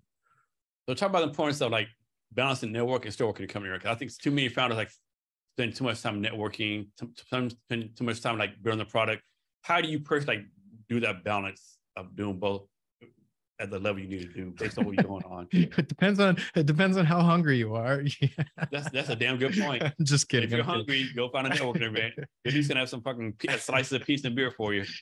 yeah, I'm just joking. No, I think um I mean if if you can rationalize being able to spend the time, if you can justify it in your own way, that might be good enough. If you've got things that need your attention, that don't go. Yeah. Don't go. Um if you're running a business, you're making money and you're, you know, you have things that you need to be doing, don't go to the networking event. And one thing people don't realize the part of the networking event is not meeting your co-founder, meeting people, like is the ability to like, like, build talent for your company, right? in my mind, I have a list of people I met at network events. Like, okay, I want to hire that person. Yeah. You know, so I, think it's good for like greeting people too, right? Yeah, absolutely, for sure. I met I met uh, somebody who's um, building some really cool stuff for for us at a networking event, and in a way that I didn't expect to happen. It was a NFT event, and this person's now working on a Unity app for us. So um, it- it's it's awesome to also. I think another thing that maybe is important to mention: exposing your idea to other people, getting their reactions, um, gives you some sort of feedback to perfect what you're working Yeah. on and to to move in a direction maybe that you weren't even thinking of or to move away from a direction that you wanted to go in but realized maybe that's not the path Yeah. Like whenever you meet someone, you got to push a button and like give the spiel over again, like diddle, diddle, diddle, like blah blah blah blah blah. you know, Yeah. Like, like damn, I said this a thousand times. I'm tired of saying this. Well, you got to say it a thousand more times, right? yeah Unfortunately, right? but you don't say it the same way Oh no, you don't. Yeah. every single Well, well, interaction you changes your pitch Hopefully you don't, right? yeah i mean hopefully you get to a point where when you say it people get it and Yeah. you You, perfect you it You see the light, light bulb in the head break. Oh, so you're doing that, right? yeah But sometimes they're like looking like, you, what the fuck are you even doing? Like, you, you don't sell what? Like, there's like, can you imagine back in the day when like Airbnb went to someone and say, yeah, I want you to sell your uh, space in your home because to random stranger. Like, uh, no, No. no, no, not doing that. But now it's like, you know, pretty much, random, you know, everyone does. Yeah, and, and whole business models are built around that. Yeah. People's livelihoods are built around People renting out on doing that, yeah. Airbnb. And if Airbnb fails, suddenly a lot of people are going to be. Oh, yeah. A lot of people depend. I know I have a cousin, like, she's retired in her 70s and she has like three Airbnbs in her house, right? Mhm. Like different, and that she, how she makes a living, right? Yep. There, there's a dry option. I don't know what she would do. Yeah. Yeah, it's crazy. That's one thing about it. we're living now. There's so much ways to make money now, right? Yeah. I mean, if it comes, it comes, push push comes to shove, you work for DoorDash. Right. Right. I or mean, Uber. There's so much ways they can make money nowadays, right? Yeah, exactly. You know, like yeah. So there's always way to make money. Well, that's the other thing is like AI is coming around. We got these these uh um now you don't even need to hire a graphic artist or um even a, a, a blueprint designer. Like a lot of these AI uh, uh programs can prototype for you now, like create blueprints for working prototypes. I've seen people use Midjourney specifically for that.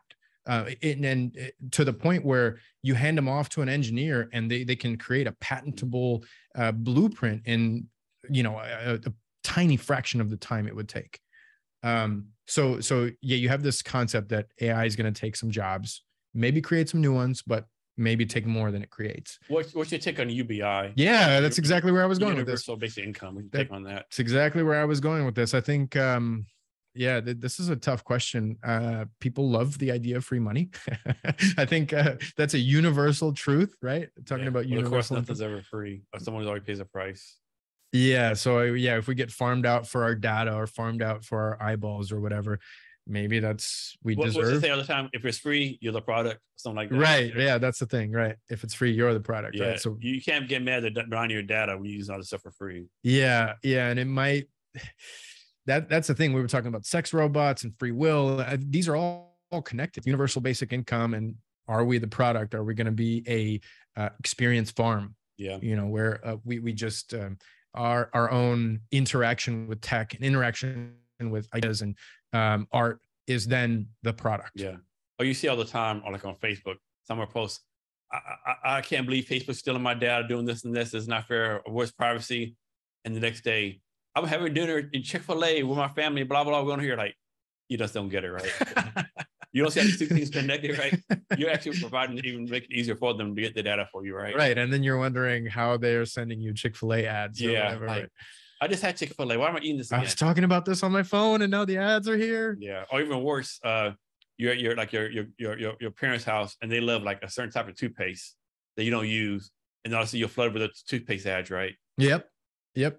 I, the, the crazy thing is like at a certain point, the AI is AI models are going to be able to know who you are almost better than you in certain ways, you know, where um I think it was somebody was uh talking about how uh, about 15 years ago Google was able to identify when a woman was pregnant and send her ads for strollers and diapers and stuff before she even knew. So imagine this happening, right? This is like this is a totally fucked up thought, right? Suppose like Google knew knew like a lady was pregnant, but not by her husband, and they sent a message to husband. Did you know your wife's pregnant? Yep. And like, uh, but it's not by you or some crazy shit like that. Yeah. Oh fuck, that's scary. Yeah, exactly. I mean, uh, Oh the, no, the divorce the divorce lawyer sends it to the husband. Do you know your wife's husband? I mean, you know your wife's pregnant. You are you looking for divorce? Call me up. right, right. Are you looking for a divorce? And he, he uh, thinks everything's fine, but um, no. I mean, this is uh, this brings up some some uh, uh, really really interesting and kind of uh, scary ideas in a way. So back to UBI. I- I'm probably gonna stand with this, but my mind, do we already have UBI? But like we have welfare in the United States, right? Welfare of the world. Isn't welfare sort of UBI?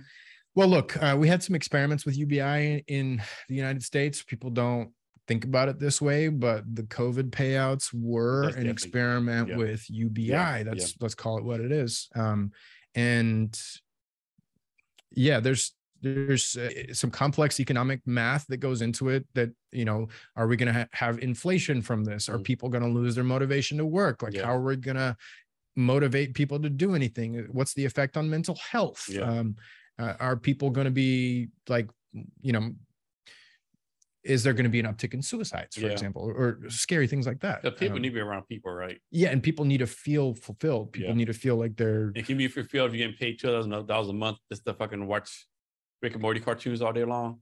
You're wrong. I love Rick and Morty, but I don't know if I can watch them all day long every day for the rest of my life, you know. yeah, yeah, exactly.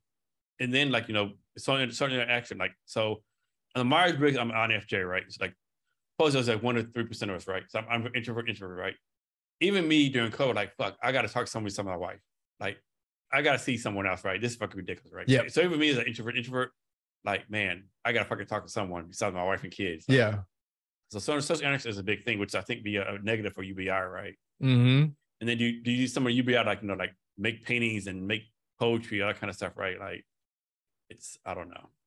Yeah. That, again, I mean, um, if if you can have an AI that is programmed to fit you like a glove, for to make you convinced that it's your best friend, your Yeah. lover, your um, partner in crime, your you know uh, equal, your peer, Yeah, that you can have fulfilling interactions with a, a machine yeah. in a way that satisfies you. Even if you know it's not real, like Even on, if you on the. Matrix, that guy like went to the other side. He like, I know this thing's fake.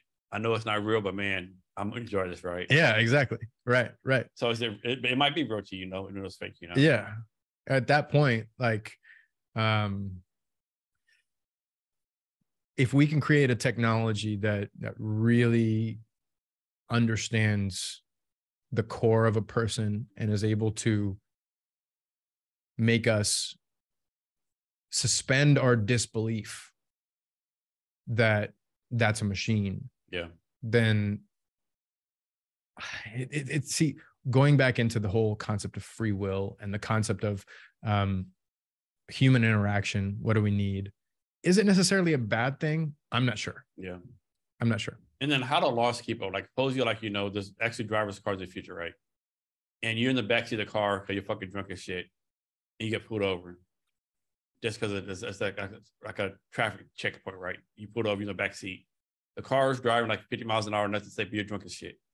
Like, you're not driving, you're in the car, right? Are you controlling the car? Is it is the Tesla? Is like, like, how do they work those kind of things, right? And then, like, there's a big thing about maybe like making all like truck drivers like like drivers, right? it's it's probably a good thing, right? But like, do we really need? I, I think it's 250,000 truck drivers in the United States, right? What's supposed money? 250,000 truck drivers and don't have a job, right? mm-hmm. I mean, the impact, the repercussion of economy is like fucking mind blowing, right? yeah All the people depend on them. It's like, and you can't buy those people for $2000 a month No. uh, to truck driving they, they can make a lot more money than that oh yeah, definitely right. So how do you? I think a lot of things. I just think a lot of things people are not thinking through, right? Yeah, no, it, there there's a lot of experimentation going on, and some of the European countries are ahead uh, in kind of this universal basic income stuff, like Switzerland and Finland. Yeah. They're experimenting a Yeah. lot with UBI. Um, and then what do you do to get kicked off UBI? Like, well, you're going to give you UBI. social credit score, man. You say something about Hunter Yeah. Biden that the government doesn't like, boom. Yeah, yeah, it just gets cut off. Point. Yeah, like you're doing UBI, but you're not doing this. We're gonna cut you down. It's like, and then like to me, it's just. I'm sure people don't think it's welfare. It's basically welfare, right? The government's paying you to do something. It, it, I don't know. It's like good times, bad times. You know, like scary thoughts. Yeah, I mean, you ever watch that cartoon WALL-E? You remember that? I remember the wall With the robot? Yeah, yeah, where uh, I don't I don't know if you remember seeing it, but uh, their their vision of the future is humans on spaceships where everybody's fat and just stuck in their phones. yeah. They're like floating around on these uh, levitating wheelchairs. They're super obese and just stuck in their phones all the time. Um, is that like prophetic? You know, is that like a, a, a vision of what the future could actually bring us with this UBI track? Um, and then we start looking back at this metaverse stuff and this matrix concept of plugging into a virtual world where there is challenge and uncertainty and um, we we go back to the stone ages to to do all this stuff or, or a world where we're in the, the roman era Yeah. uh, and- like you want to eat, you better hunt down some. You better hunt some exactly exactly where and and who knows maybe maybe there's this infinite loop of um of really fast technological development, downloading yourself into a simulation and starting from the ground up until we get to this point Mm-hmm. again where um, we're we're back in another simulation, starting over, and there's this kind of like Russian nesting doll effect of and Rick and Morty's uh, you you bring them up all the time. They they did this episode where there's a simulation within a simulation within a Yeah. simulation. Um, is that so far from the truth? I don't know. I mean, it would be super interesting if we had a a, a virtual world where we could literally choose our experience. Um, you know, imagine like a um instead of Amazon Prime where you're selecting videos or different movies, it's like a metaverse Prime where you have the Roman era and and you know uh, the Jetsons Yeah. and uh, I want to be a soldier in Roman times. Or I Yeah. want to, I want to be Cleopatra's, you know, manservant. Or I Right. want to, you know, I want to be, you know, the gold rush. Yeah. Or maybe there's an AI that just automatically detects what you want and forms a metaverse experience around that that's so realistic that, you know, itches that scratch for you. Talking, talking about like something like the holodeck and the Star Trek Enterprise. Right. Right. So, one thing I'm a big believer, if you can imagine it can be done right. Yep. I'm a big believer in that, right? To an extent, maybe. I remember one, I went to one pitch competition. This guy, his he wanted to build an escalator to the moon. Oh, yeah. Yeah. Yeah. So I- Michael Lane. Yeah. Yeah, escalator moon. Like, man, I don't know about that one. That's gonna be hard to imagine, right? But I, I'm, generally, I think if you can imagine, it can be built right. Yeah. Everything that's been done in the past, someone imagined it, right? You know. Liftport, Liftport's uh, ideas are actually pretty, pretty advanced Mhm. at this point. Um, they've got some really interesting, not only schematics and blueprints and stuff, but like a whole video about how it can be done. It's super cool. Yeah. Um, you should have him on here. Have you have you talked to him here? before? no, I haven't. I, I haven't met him. He has a, a podcast too that that he that he runs. I know him pretty well. I'm happy to. Okay. int- Yeah, yeah. What's his name again? Michael Lane. Okay, I need to meet him. Yeah. Yeah. And so it's amazing, like stuff people are doing. So this is this a, a startup called Avalanche Energy out of Kent or Renton. Okay. And so they want to do, it's like one of those things like, it's like, man, you, you pull this off, we're uh, like the energy crisis is solved, but if you pull it off, we might be fucked, right?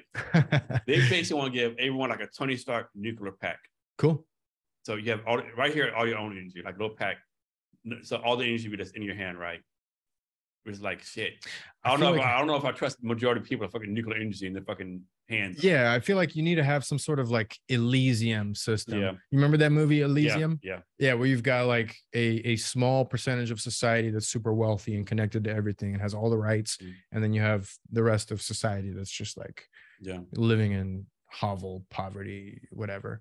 Um, I don't know. I mean, that's another question that I wanted to bring up with you, right? So, um, we we're looking at different types of futures, and I imagine a future where instead of trying to protect data and you know keep customer data safe you've got all these hacks you've got all these uh, different types of data breaches and vulnerabilities and stuff imagine a future where everything is open source where me and you sitting across from each other you can look at me and know exactly what's in my bank account all the last text messages i've sent with all the last pictures in my phone uh, basically where where you have um, equal and unfettered access to everyone else's life around you what so um yeah on the one hand you have a lot less costs Yeah. for security um and a lot of transparency which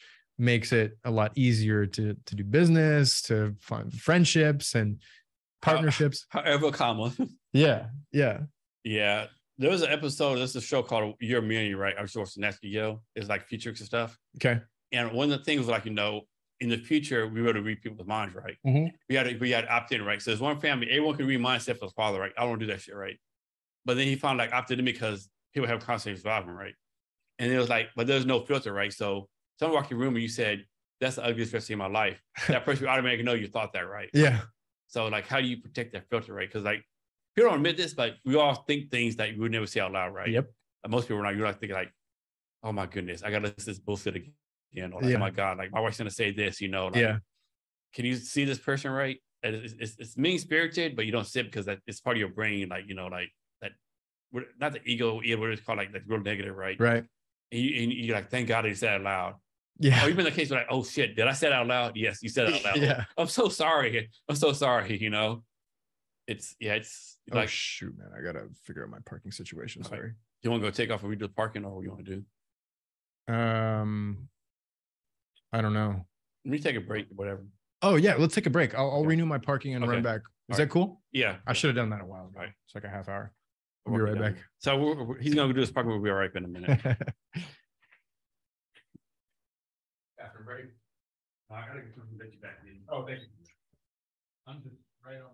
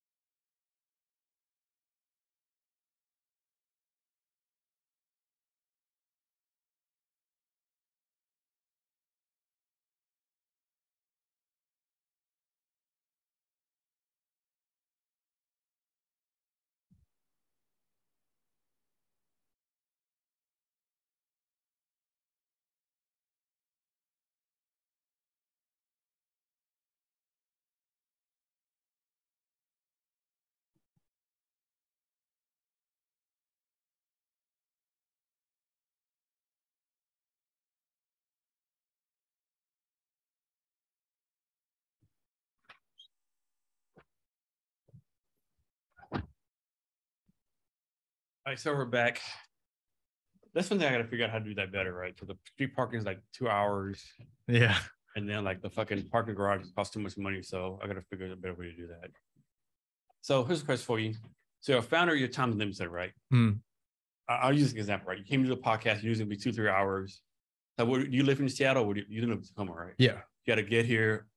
So how do you determine like what is worth your time to do versus what's not worth your time? Kind of just intuition. Okay. Um, I am curious because there's a lot of things that have happened in my life where you can't predict what happens when you attend something or when you meet with someone or when you do a podcast or a TEDx, for example, right?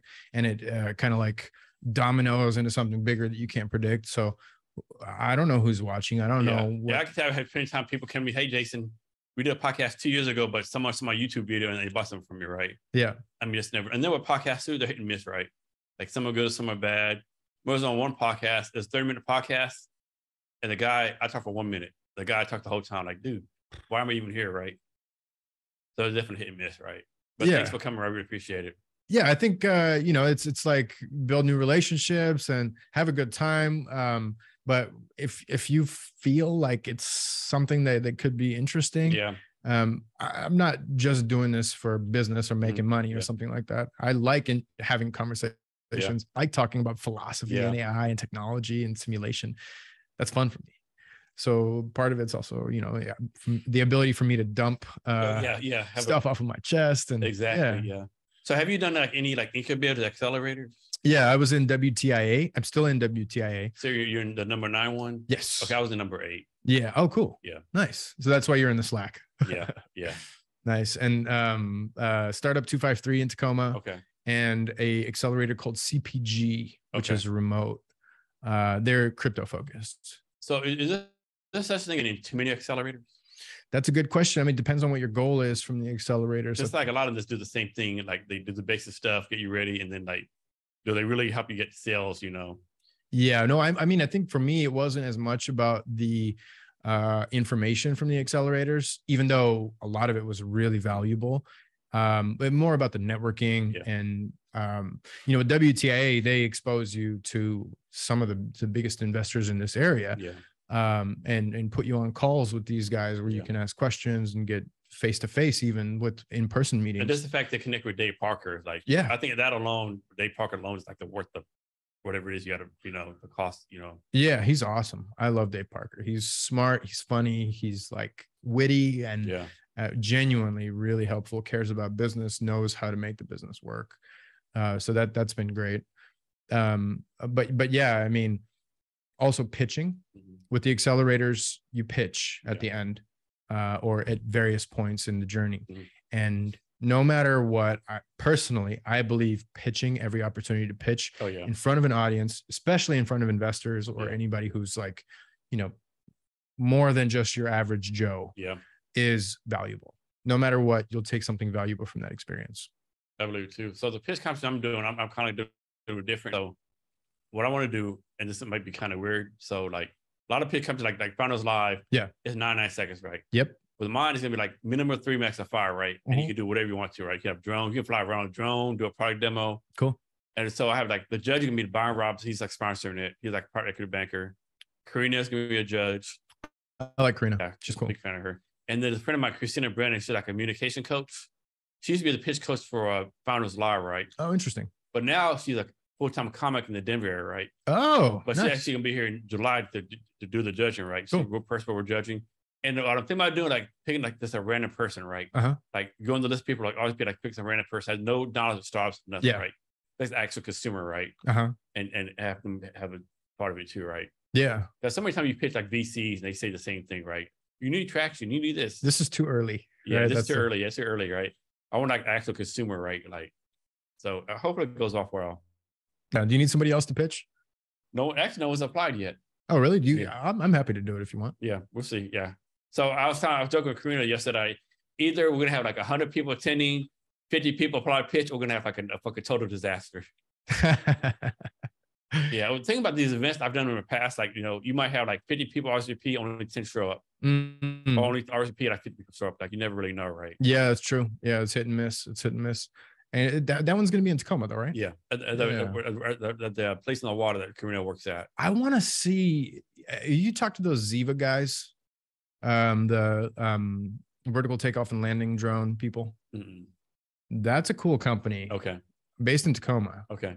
Uh, I'd really like to see their pitch. I wonder Okay. if if you can get Yeah. them on. Yeah, that's why I, I, I all stars, regardless face, small business. I just want to, you know. And of course, the goal is like the first four people we pick, like maybe some we don't know that good, right? Yeah, To make it fair. But I don't know. I think Michael Lane would also from Liftport, the Okay. Moon Elevator guy, would also be down. Nice. Yeah. They want to make it make it a good event, right? Yeah, Of course, you know, I get value. I get, you know, I get people's emails, addresses, you know, so at CavnessHR, you know, so those are something to be said about it. So moving on, to me, some exciting really recently happened, right? Where they discovered something called gravitational waves that Mhm. there's actually the universe has background music. Mm. Like, what the fuck? Uh, you know, uh, part of me can't help but think that you're just trying to interpret something out of numbers Yeah. that maybe you have to stretch your imagination a little bit. Some of the people in the scientific community are really good at like packaging Yeah. the So to get findings. so to get future funding. Yeah, exactly. And to drive a hype cycle, sell their books. Mhm. Also, you know, that's a big one. Um, I'm not saying that that's the case, Yeah. but uh, th- this sounds like one where, okay, you have a random pattern, and if Yeah. you, you know, put apply a certain equation on it, Yeah. you can have it sound like Tupac. Yeah. Yeah. That's true. Yeah. It's so exciting, nevertheless, right? It gives us something to talk about. Then For sure. some people don't give a fuck about it. Like, oh, who cares? yeah. Like some people are like, shit, I don't know where my next meal's coming from. I don't, who cares about the music having a, the Right. universe having a sympathy, right? Yeah, exactly. Well, having sympathy, that's a that's a big question. And maybe, maybe, maybe it's uh, actually, you know, there's um, elevator music that's playing in the server room where the simulation's being processed. Exactly, right? How it works, yeah. yeah. Yeah. And then like um there's so much stuff going on in the universe, right? Like we don't know, right? Like, yeah. I think Donald, Donald Rumsfeld, Secretary of Defense back they say we don't the unknown knowns, unknown unknowns. Yep. We don't know, we don't know, right? It- It's true, right? You don't know, you don't know, you don't know. Yeah, that's true. Sometimes you know what you don't know, Yeah. which is it's pretty mysterious in and of itself. But I'm the kind of person where it's like if I'm not there, I'm not gonna believe it Yeah. without a, a healthy dose of skepticism. Well, I think this of knowledge, I can't remember it as a knowledge where like, there's a knowledge where like, you know it's true were there, right? Yeah. Like, example, inferred knowledge, right? So like, like China, I know China exists because people know it exists, right? Yep. But have I actually been to China? No. Same. Like, is China exists? Probably so, but do I really know it exists, right? Yeah, I mean, with, with certain things, you have some, uh, like even Netflix has dramas from China that has Chinese dress and the Chinese language, where you can watch it and you can be like, okay, this this looks real. Mhm. Doesn't look completely made up. These people are speaking completely foreign language. Yeah. They seem to be understanding each other. They're dressed in ways that I've never seen before. Maybe you know, but um, then when, when you talk about space, especially right, uh, a lot of the the um, the news cycle is driven by equations from complex machines that are gathering information in ways that are really difficult for the average person to understand. And then you have scientists who work with PR companies that are experts at packaging it up into sexy news bites. Yeah. Yeah. So it's like, what is it course they have the- exactly? Of course, they have the sexy blonde and front dress delivering it, you know? Yeah, yeah, exactly. You remember this uh, uh, happened a while ago where like the Department of Defense, the Pentagon, this is like out, out out of the blue, UFOs might exist. Like, wait, what? What did you just say? We, we, we repeat that. UFOs might exist. Elaborate a little bit more, Pentagon, right? Yes, for sure, for sure. Yeah, again, I can't help but think that some of those things are like you, you say UFOs might exist. It's one of those non-committal things Mhm. where you don't you don't have to go into greater depth, Mhm. right? You can just like Why do you think that? yeah. Yeah, oh, that's classified. Right. Yeah. This conversation's over. Sorry. Um, but you know, at the same time, you've got wag the dog type stuff going on where you're trying to distract from certain things and maybe you know you're trying to work something else uh, that that you need more privacy over. So I can't help but be spect- yeah, skeptical whenever we have big news like that allegedly. You know. What's your take on genetic splicing? Well, um, it seems like there's already um, some benefit to it. It seems like if you're rich enough, you can make sure that your baby doesn't have certain genetic diseases already. You heard about the case in China where that one Chinese thing um, did it where the, this girl will never get AIDS or something? Yeah, there's some. Uh, I, don't know how true any of this is. I heard about something from China where a woman got lots of plastic surgery and ended up marrying a a, a wealthy person, I remember, yeah, I know that. Yeah. and then the baby was ugly. their babies ended up being really ugly and he sued her Yeah. and ended up winning somehow. I don't know. I mean, how do you sue It somebody for that?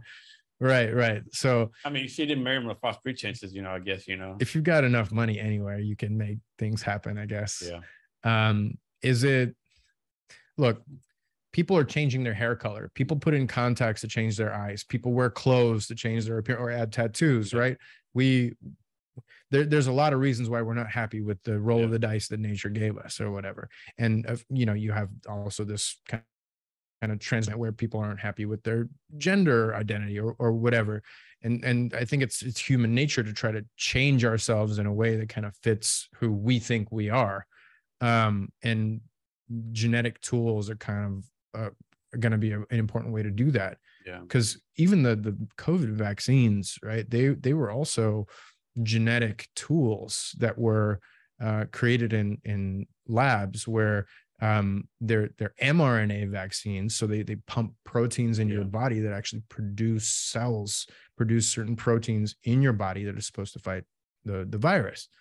Um, and I mean, there's a lot of pushback that these are experimental, and you know, how did we get these through? There was emergency uh, authorization. Why didn't we just use traditional vaccines? Yeah. That's legitimate for sure.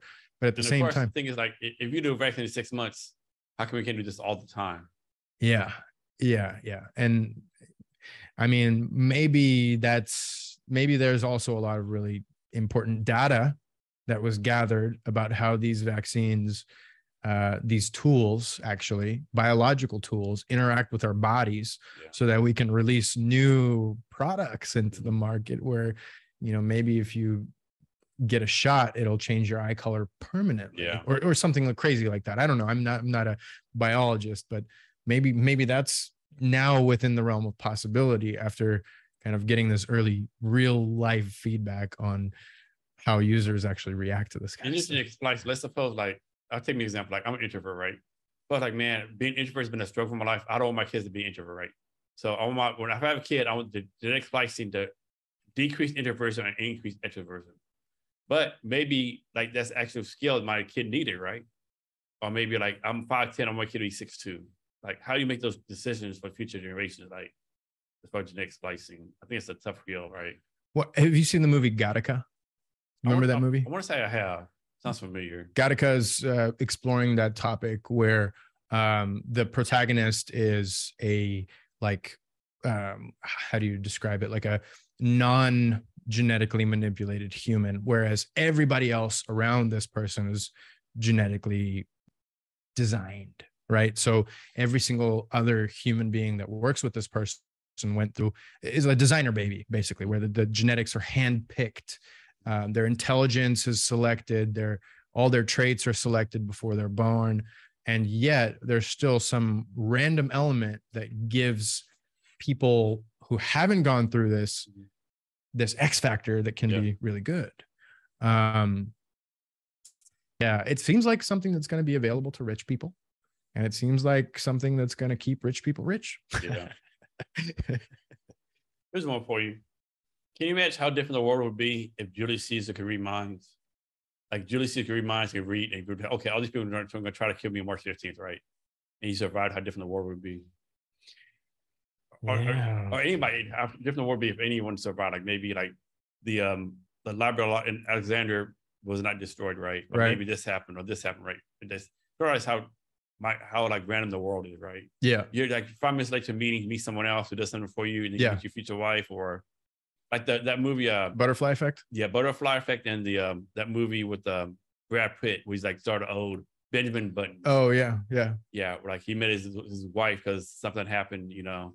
yeah Life is so just so fucking random. People don't realize that. I don't think. yeah i don't know i mean we can we can speculate um about all that it's so hard to know like maybe the julius caesar path ended in world destruction where we had to start over somehow Yeah, or maybe maybe we'd be you know there's a family guy episode where um stewie and brian went back in time and yet it looked so futuristic because it was a world without religion for Yeah, example right Yeah. so uh, it's it's hard to know like would it actually have turned out that way I mean, Julius Caesar, they killed him because he's, a, they he's gonna be a dictator. Maybe he was gonna become a dictator and fucking kill a lot of people. Like, It didn't matter anyway. Rome was ruled by dictators for 500 years after Yeah. that. Yeah. You still ain't, had, ain't that ain't that fucking crazy? You, you kill a dictator and you fucking ensure a dictatorship takes over. yep. Yeah. Yeah, it is crazy. And I hope we don't have to walk that same path because, I mean, wasn't Rome a republic for about So 200, 300 I took a years? Roman history class in college and we did a study and we could somehow we figured out like I'm currently gonna make it up right. The, we're on the same track of Roman history. I think we like I took that class like 1994 and we figured out like in the year 2237 that we become a dictatorship. We're going to have our own Julius Caesar coming Yeah. up pretty soon here. yeah, like all the things like point to right, like like you know, like you know, welfare systems, you know, the the the caste systems, all that kind of stuff, right? Like lined up perfectly, right? More There's power. there's definitely I mean, we're pretty much a new power, you know. Like back when Rome took over, all the countries that existed, they came out of nowhere, just like we did, you know. A lot of similarities. Now, was there somebody who did a study of like how many executive orders we have now compared to like 50 years ago? Oh yeah, yeah. Uh, If I'm not mistaken, the amount of executive orders that we're issuing has increased A lot, yeah. a lot. Yeah. Um, and I mean, if you're able to go around the the legislature like that, that's kind of It's basically it's like a mon- monarchy decree, right? yeah, exactly. Right, right. So it, it seems like I mean the thing is dictatorships have certain benefits sometimes. Oh yeah, definitely, yeah. It's more efficient. You can get decision making if a done a lot one. faster. Like imagine, the- I mean, can you imagine like one one dictator is like we'll say someone like Solomon, right? Yeah. Like all knowing, all knowledgeable, but the next one's fucking Adolf Hitler. Like oh Right. shit, you know, like or like what's that guy Caligula? Yeah. You know, Romans like Roman history, like they were like had three great empires and then three horrible empires. Right? It's like that rotation they went through all the time, right? Yeah. Right, right, right. Yeah, it's hard to say. I mean, um deep in the past, like even you were mentioning the battle of uh, with with Constantine, Emperor Mhm. Constantine.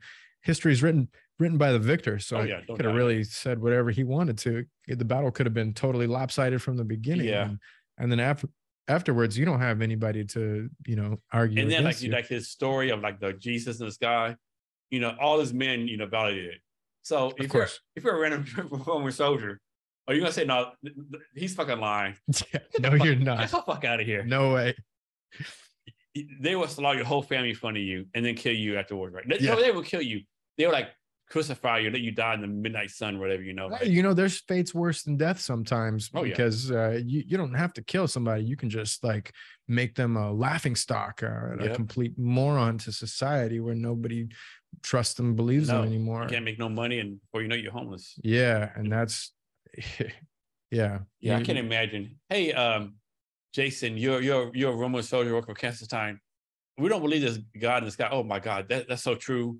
I seen in my own eyes. You know, do you really see your own eyes? Oh yes, of course I did. But you know, Yeah. but what a great story, right? Yeah, for sure. For I mean, sure. what a great story, like to tell to tell people like Jesus spoke to me. Like, Well, yeah, I mean, of course, a hundred years before that, um, if I don't, if I remember correctly, that battle happened sometime around the uh, 400s. something like that. Yeah. But uh, but then a hundred years before that, you have the Council of Nicaea, yeah. which uh, I think it was like 323 or 323, 319, 325, yeah. uh, where where you have all the bishops in the area come together and decide which books are uh, approved to be in the Bible. Of course, there's influence on that probably too, right? Like, yeah, like these, these bishops are you really talking to jesus is jesus is god really telling you what to do right yeah, or it's like this fucking other random dude like putting money in your pocket right yeah, exactly. and now thousand years later we follow this council the, especially if you're roman catholic so to speak the so we have the in the roman catholic we have like the catechism of the church all the different rules Yep. so of course none of it's in the bible you know Yeah, yeah, of course, right. And uh, so it's kind of like this approval process where you test the waters for for 200 years and then suddenly this thing's got mass adoption and you got to figure out what to do with it. So you get this council of people who say uh, if we if we go with these books we should be all right Yeah. you know and um i know we should really say approve these 10 books but the roman emperor has has like basically said if you approve these three books we're- it's going to be hell on us right? Yeah yeah. And then you know you've got certain ex- uh, interactions in there like i mentioned earlier given to caesar what's caesar's Yeah. we got to make sure these people are paying their taxes on time. Oh yeah. We got to make sure that we teach them as part of their religion to do that right? And so um you have this jesus figure who's um uh you know the, the savior of humanity and yet who also I I can't help but say it, but you know, spews some government propaganda now and Yeah. again, where he's Yeah. like, "Make sure you pay your taxes, folks." Yeah. And I think Um, this, this Jesus story is like people don't realize this. There's so many Jesus stories, right? Even before Jesus came, there's like different stories of virgin birth, like eh, all these societies have virgin birth stories, all this kind of stuff, you know, like, and then suppose like there's like all these prophets back in the day, right? And Jesus just was the one that came came forth, you know, and like no, the question back, you know, like does God exist? Does it exist? Like, if you're God, why are you gonna send your son, which is is like according to Chris, is actually part of you, right? mm, to die for our sins, you just fucking like, okay, everyone gets in heaven, right? Yeah, I mean, look, we we can go and criticize different parts of Christianity till the cows come home. It's there's there's a lot of Let's say- fodder for that. Yeah. There's a lot of areas where it's like Right. Islamic. There's always like you know, like the question of why sacrifices in the first place. Mhm. Like, why do you need to butcher an animal or Yeah. a human being to like your God doesn't belong to you anyway. for sins? It's it's like oh, and not to mention that all of the the tribes nearby are doing the same thing. You know, are all over the world. You've got Egyptians and Celts and Yeah. Hindus uh, who are slaughtering animals to appease And talk their, about being lucky. Like gods. you're Jewish, you- you're the chosen people. Like talk about being fucking lucky, right? Yeah, right, right. Well, To an extent, of course, they fucking you know the fuck they went through too. You know, so maybe they're not so lucky, right? Yeah, luck, I guess, is in the eye of the beholder because Or is it just a great story told by some Jewish storyteller?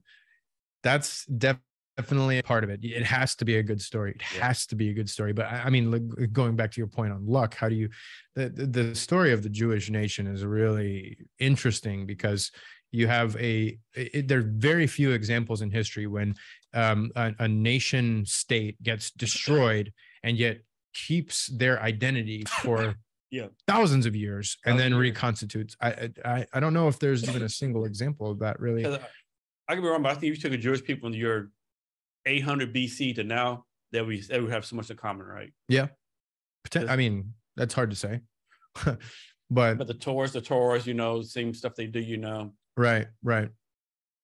But it, it's yeah. I mean, I mean, if nothing else, the Bible's a great story, right? Yeah.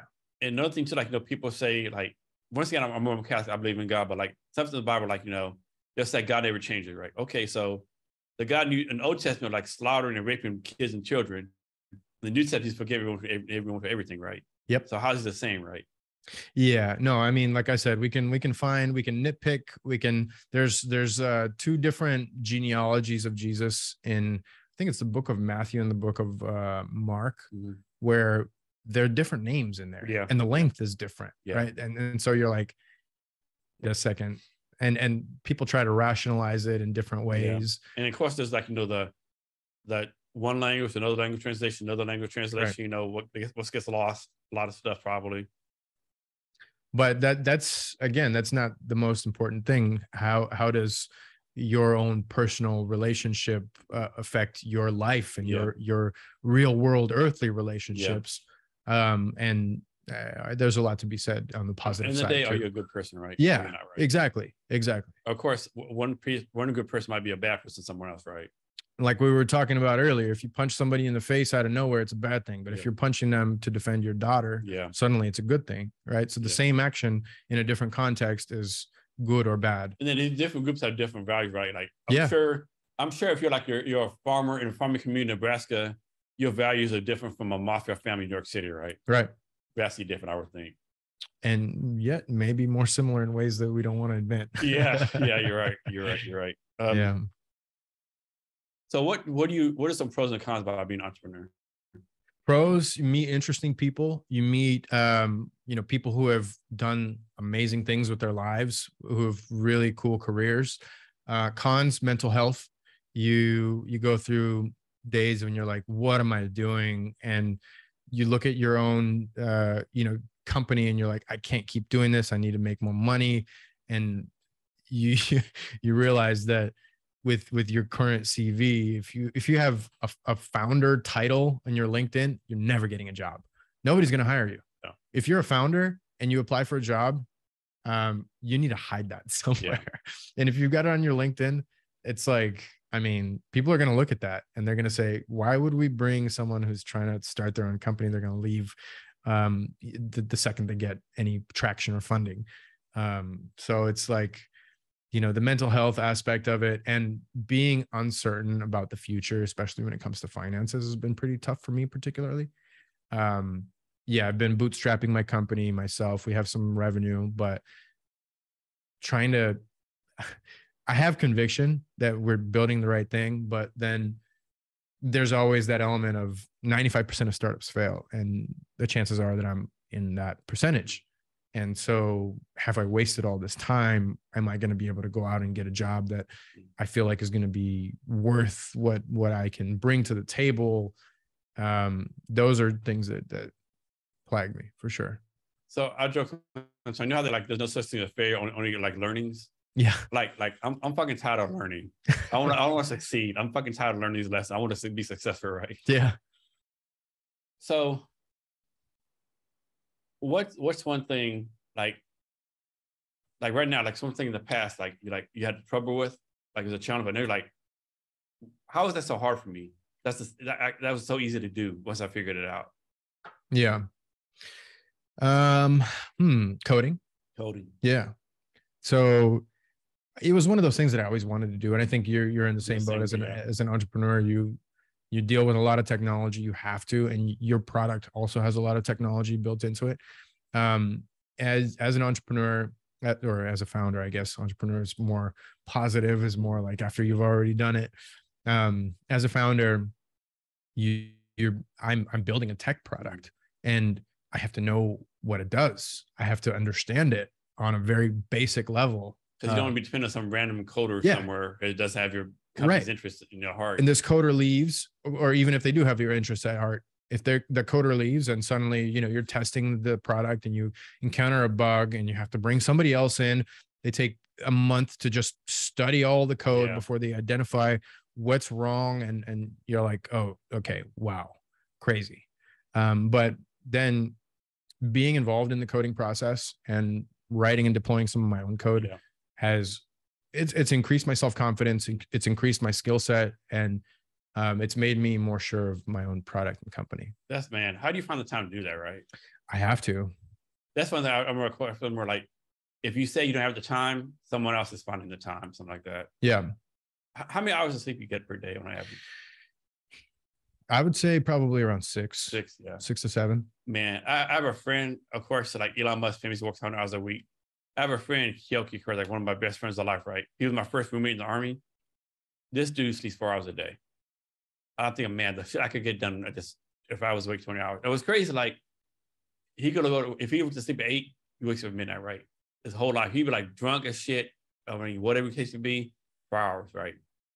Oh, man, what I could do with fucking 20 hours of work. But I, I need like seven, eight, seven, eight. Because average six, supposed to in the military, I had to be sleep deprived, buddy, man. Like, it's different. Of course, that today's like, you don't get enough sleep, but that it degrades you over time. Oh, right? yeah. It makes your like life shorter, you know, but mean, who knows, right? right yeah Of course, the thing is like, what are you doing the time you're awake, right? Yeah, that's another big thing is like uh, with me as a founder in the entertainment space, um, sometimes you rationalize yourself consuming entertainment and saying, oh, this is for work, you know, Yeah. where, where I'm like consuming certain things in the entertainment space that actually it's it's fun, it's recreation. But I, I justify it to myself saying, oh, I'm I'm researching, Yeah. I'm doing market research, you know. Um, well, I mean, it, it always is, and it's not false. Yeah. It's it's a true thing, but, But do you need to spend two hours doing it versus 10 minutes? do I need to, yeah. Or like you always like before you go, I'll just look at one TikTok video. Next thing, oh shit, it's two in the morning.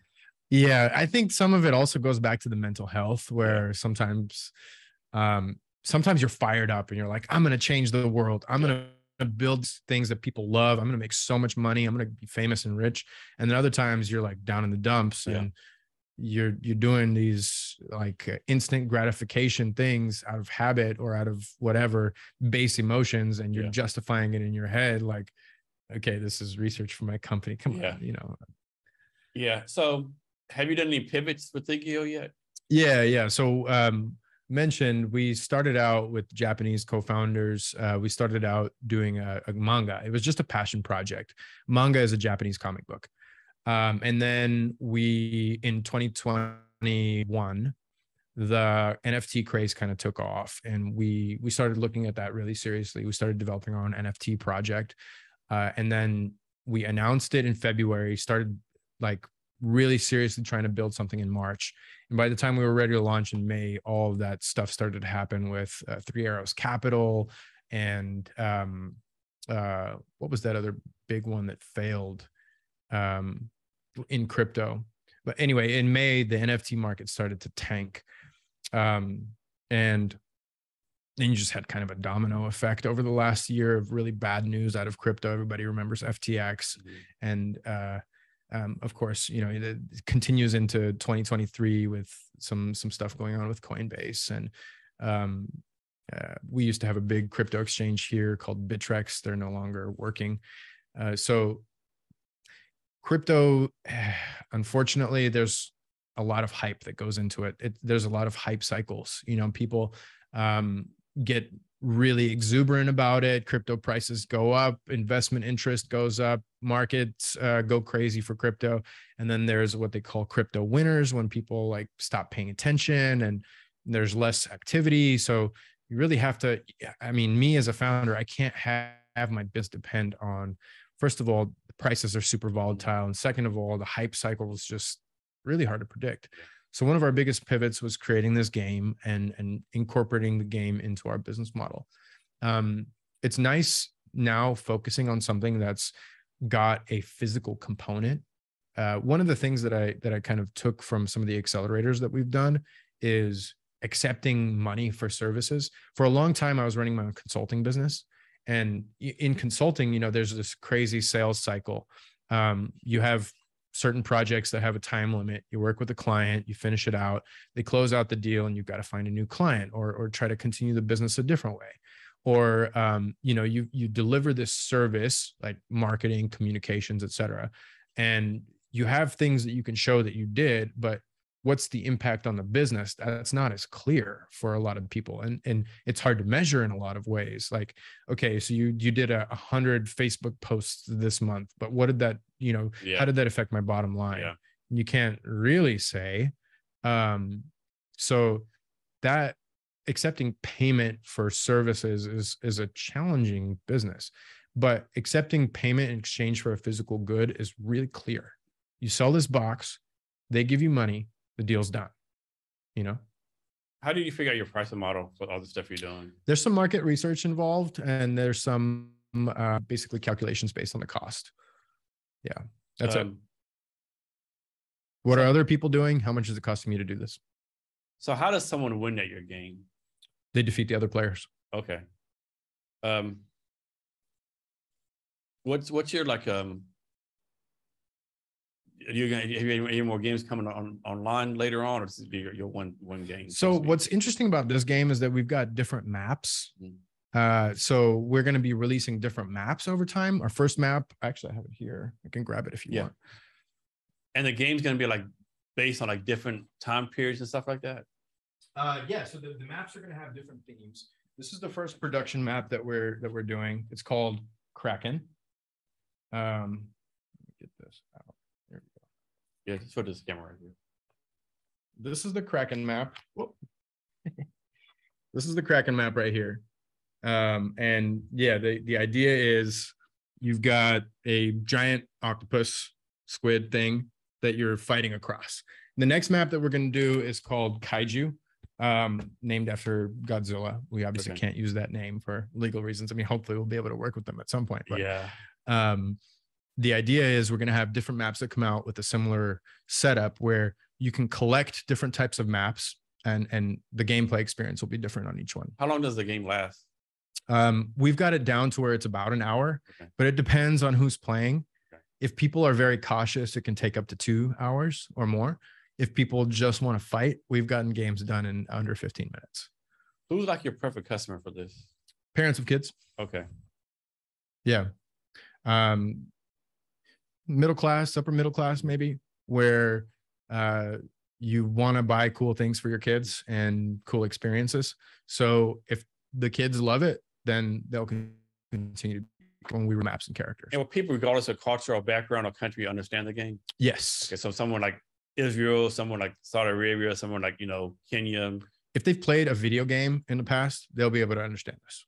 Okay. There's like core concepts of health and energy where you want to keep your health above zero mm. um, and energy you spend to do different actions um, there is some complexity. So you have treasure chests you collect weapons and items and those all have different kind of abilities. And how many people are in your team right now?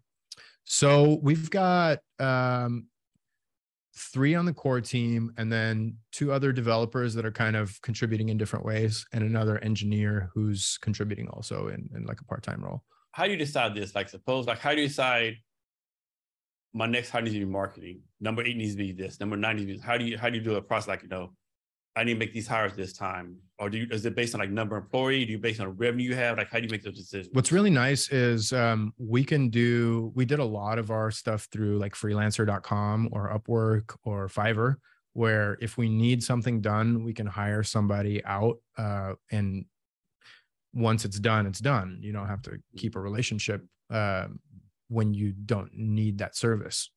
So that's been really important. Um, I think that the hiring needs are going to change once we have more revenue and once we have a better idea of like how much we're going to need to produce, how much we're going to want to sell, and um, then we're, we're going to need to be a lot more serious about bringing on people full time. So, have you been able to validate people on Upwork and Fiverr can do what they can do? That's a good question. I think um, there's a certain art to it.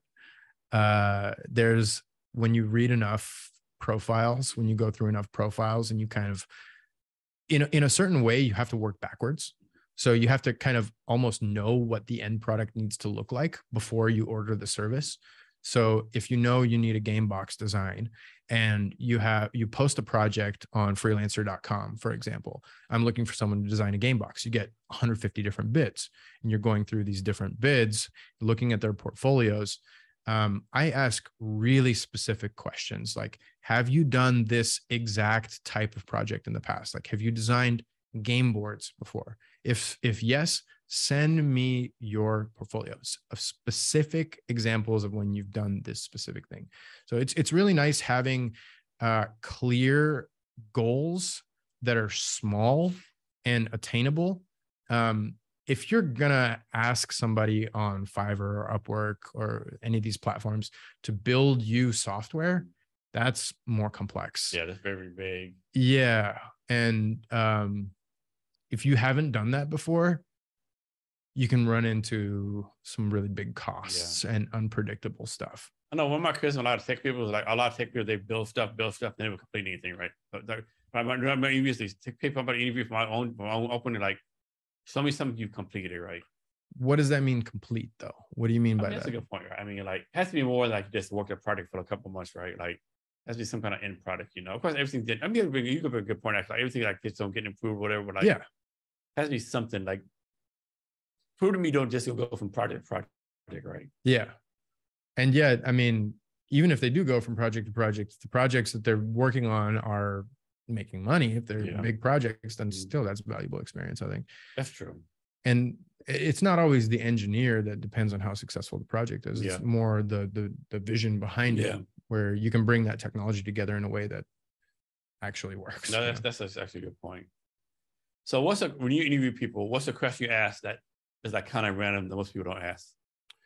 Hmm. I like to ask questions from engineers. I like to ask questions that are kind of related to values, mm-hmm. like what's important for them in developing. And um, uh, one of my values, for example, is uh, open sourcing technology and data privacy and uh, being able to like um, protect users in a way. So I want to make sure that the people I'm working with kind of have similar values. Okay one question I ask, I ask people like, you know, what's something that you're proud of that's not in your resume or, or LinkedIn, right? Like most people don't know, right? That gives them a chance, like open up on the like, you know, brag, so to speak, right? Yeah. Comfortable. I think that's a that's a good question. I like to ask questions that are gonna define our working relationship. You know, so if if somebody that that can often reveal something about somebody that makes it a good fit. Yeah, I'm sure you've had that uh, in the past where yeah you're interviewing somebody, they say something unexpected, and you're like, I vibe with this. I, yeah. I vibe with this person. I like to ask questions that are more like um, le- less about personal and more about like their business approach, yeah. their like approach to working and getting stuff done. Yeah. Um, and and if I vibe with their work philosophy and their philosophy of mm-hmm. tech, then it it might be a good fit. Yeah. Of course, like I'm from Texas, someone says I everyone from Texas. Okay. You're not working for me, then don't. this is a bad example, probably. Um, so you're talking about your company Summit. Can you go more detail about how the company got started, what you focus on now, what the future vision is for it? Yeah, absolutely. So um, we, like I said, I um, I think I mentioned this earlier. We I started writing a science fiction novel in college, and um, generally just kept working on it, kept dabbling. And then in 2019, I met a, a Japanese person um, who invests in different companies. We had a good relationship, and he invited me to come to Tokyo, where I met some of the other members of my team, and uh, we started working on a Japanese style comic book. Um, that was in 2019, and then COVID hit, um, and then the NFT craze kind of happened. We started trying to launch an NFT project.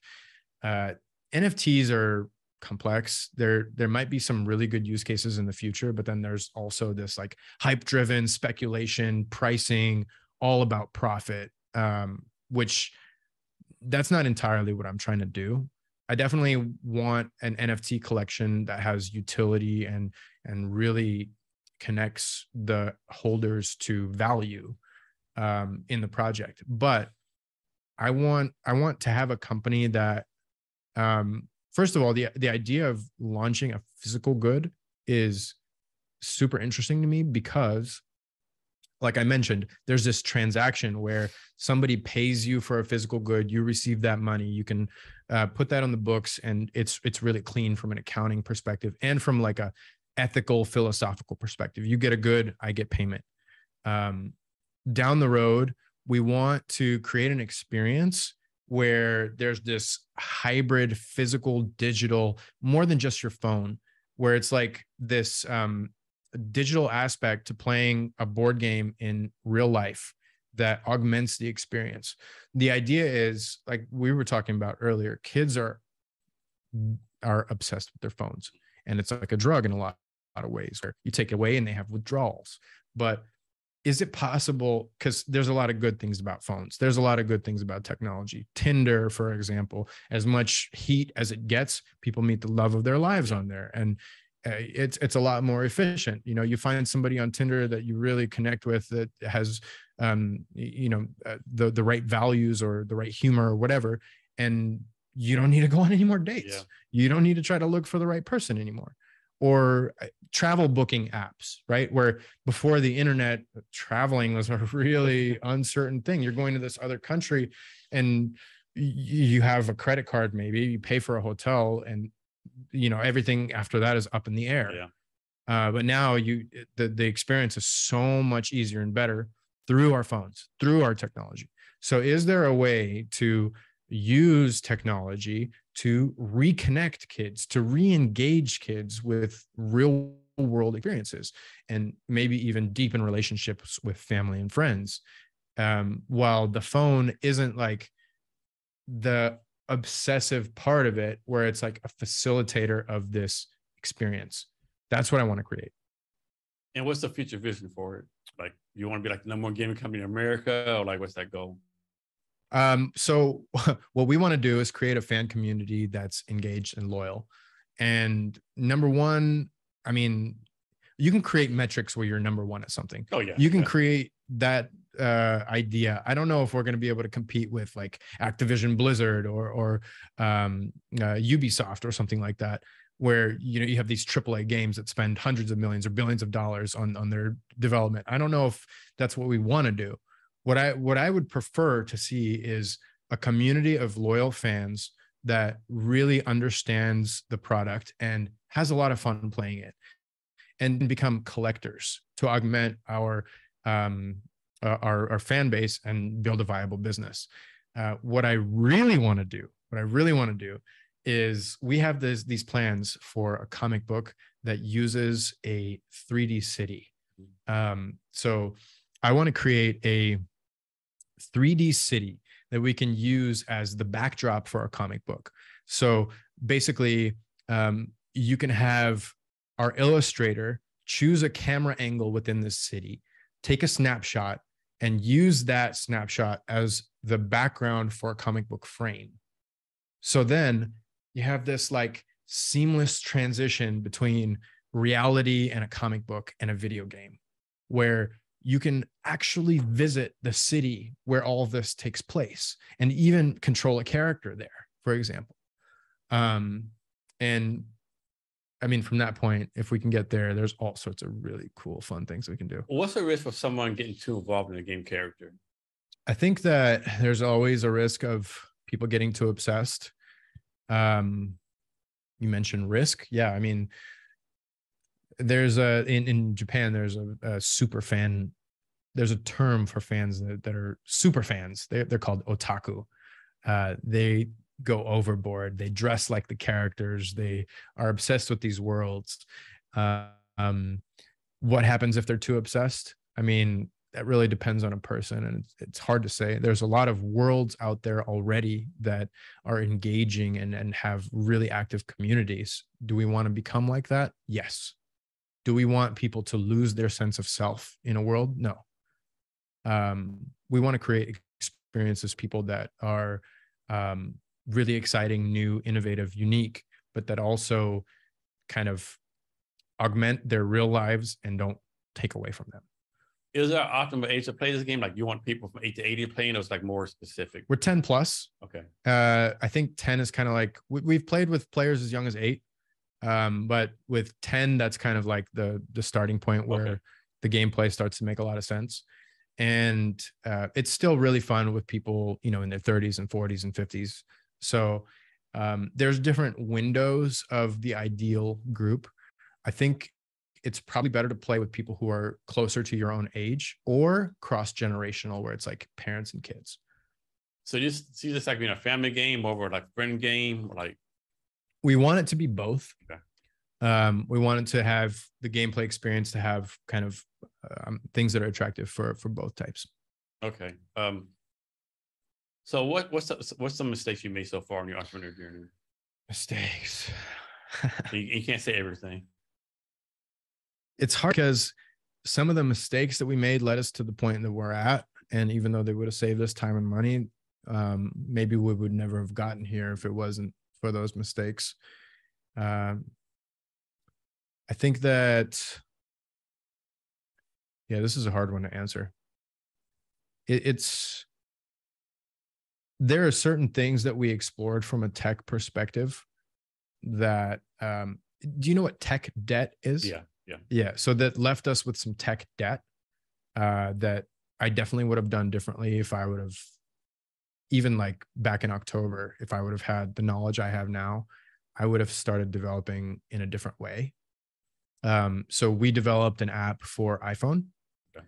um, which means we coded in Swift, we use Xcode, and unfortunately, that leaves us uh, excluding Android users. So if you've got an Android, you can't use our app right now. because now. Android, like, even though I'm an Apple lover, fact is Android has like what 80% of the market, something like that. Yeah. And a lot of the people in the board game and video game space are Android users. So you automatically exclude those people. Yeah. Um, so if I would have gone back, I would have started immediately developing for a mobile web kind of platform. Like a web which, app. Yeah, for mobile specifically though. Uh, which is where we're moving now. So we're developing an app in Unity um, and we're aiming to launch that for a mobile web experience. Okay. Um, but on the other hand, having the iOS app that's sorry, I thought it was a call uh, that's live now is um, gives us basically a really good idea of what the tech needs to look like on the Unity side. So uh, having all of that tech already written, deployed, tested, debugged, um, is is really good for us too. It's hard to say. I mean, what's what's some advice you have for like a new entrepreneur coming up? Well, it depends on what sector they're. Let's say they they have an idea that they haven't done product market fit. They have an idea, they have a little bit of money, and it's going to go from there. Uh, what are their goals? Are they trying to actually build a business, or are they just like trying to get something on their resume, or they're just trying they, to? They want to build a business. They want to build. A, talk, talk to as many successful founders, mentors, investors, entrepreneurs as possible, family members, even people who are in unrelated businesses. Talk to them about the challenges of business. If you've never run a business before, find out what it's going to take. There's so many, um, what are they called? Um, uh, hidden stones under yeah. the water, right? Yeah. Where you don't, like, like you said, you don't know what you don't know. And mostly this comes in the form of legal, yeah, tax, accounting, hiring, stuff, the all stuff. the stuff that runs the in the background, marketing, sales, product market fit, go to market. Yeah, you've got a cool idea that, that you can get excited behind. You've got a, a way to explain this idea to other people that gets them excited too. But are you ready to be the CEO? Are you ready to be the person who's going to be running all of the stuff, the sales, the marketing. What's your sales cycle look like? What's your competitive landscape look like? Yeah. Are you ready Market to put are you ready to put in the legwork um, on the yeah the market research side that roll up your sleeves and get the boring stuff done you yeah Yeah, Um, I tell people all the time that want to be a founder, like you know, like my advice to you is like go work for another founder, like work for another startup for like six months a year and learn the best you can, then do your own business, right? Of course, most people ain't gonna listen to that. They want to be no start their own thing as soon as they can. yeah yeah um if you've ne- if if you don't understand how it's going to make money then before you spend any of your own money make sure that you know how your business is going to turn a profit Yeah. and um if if you're not mentally ready to go through hardship just don't do it Yeah. it will eat you up and spit you out So true, so true. um that's the unglamorous side that's the unsexy side uh when i was going through one of my accelerators one of the mentors was saying um, you know eh, 95% of startups fail but everyone in this room thinks that they're in the 5% Yeah, of course. Yeah. so there's there's like you said there's some kind of mental insanity Yeah. even um, that kind of goes hand in hand with the foundry um, journey where you you have to have conviction in yourself and in your business that you are going to be the exception I, like to say sometimes like you have to believe in yourself even when you don't believe in yourself. Yeah. Right? Even if you say, man, I, I I suck at this, you still gotta believe in yourself, right? No yeah oh, oh and of course yeah, be ready to hear no a lot Yeah. All the time. all the time and if that's something that you can't handle just pack Or, up or some version of no. yeah And the, the thing is, like, you gotta be smart for no. What when they say something, it really means no. Also uh, don't think that it's easy to raise money it's incredibly difficult to raise money especially from vcs And the thing is, like, people don't realize, like, it doesn't matter what the economy is like. It's hard to raise funds. Like, even back when in 2020 they give money away, most people just still not raise money, right? yep yeah So it doesn't matter how economy is. Like, I think one percent of people raise VC money is incredibly hard, right? yes Because I, I have a friend who's a VC. He- I think it was telling me like he's out of Miami. He's like, I have every thousand pitches, he might invest in one. yep So 999 people mid- pitch him to get a no. He only says one. I think he invested like I think he does five investments. You get like real small fund, right? yeah Things like I want to see he's like climate change, right? So five investments per year, talking like five thousand people. another big thing for people considering to found their own companies especially in the tech space if you're not a programmer Mm. if you don't uh have someone who's on your team as a programmer that's going to increase your so- costs It's so much fucking harder. it's going to I- increase I your can say costs that, yeah. a lot And like one like time, like my check challenge, like some of the simple, like I had a great tech person, junior developer, right, doing great things. She got a job offer from T-Mobile. I can't compete with that. Like, what can- what can I say, right? Stay on a few more months, and I might get raise funds and pay you like half your salary. You get T-Mobile, you know, like Yeah, exactly. And uh, if you don't have a developer who's on the founding team as a founder of a tech company, yeah, it's so hard. you're going to spend a lot of money. Yeah. I'm sure you you can attest to that. Yeah, I've been lucky. I've like I've bootstrapped. Like I- I've got free AWS credits. I've got internships, you know. But it's like bit by bit, right? You know, people, of course, people have disappointed me, ghosted me. They've like, I won't say stolen money from me, but stolen money from me, right? There's different things. Like people leave too early, too soon. But yes, And and I mean a lot of times as a first time founder, you don't know what you need from the tech perspective. Like I said, I I started building um, this is my first time that I've tried to launch a company. I have another company that failed in the past and a successful consulting company that I ran for 5 years.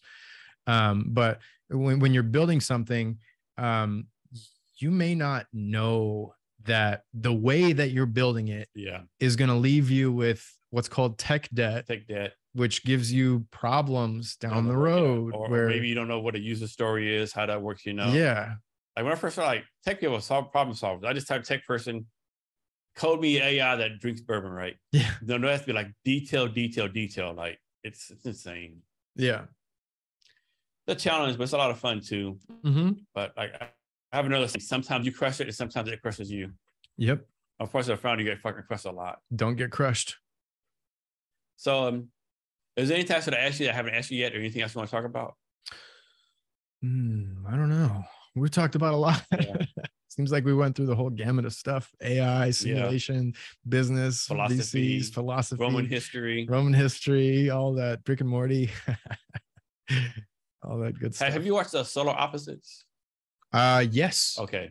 I watched a few I- I- I episodes of that. Watched, I started watching that. Yeah. That's on Hulu, right? Yeah. Yeah. It's still weird to me to have the Rick voice playing the other person's voice, right? it's like, that's Rick. yeah, That's, that's, fucking weird, though. yeah, yeah, man. So, anything else? I think that covers it. Okay, cool. I Um, think that's good. thanks for your time. Before we get out, you can give us any advice or wisdom or anything you want to talk about. Um, so I, what I want to say is that we're coming into an age when it seems like so many things are possible and we we can create anything we want and yet these things that we're creating are meant to be addicting and obsessive. I think that it's important to find out your true essence and be um conscious of the mental health challenges and find your own way to to deal with it to stay sane and to um, live your best life i guess. So, uh, thank you for your time today. Really appreciate it. yeah my pleasure. My pleasure. Thanks for having me And to listeners, a reminder we're doing the crowdfunding campaign at CavnessHR. Also have a hackathon going on.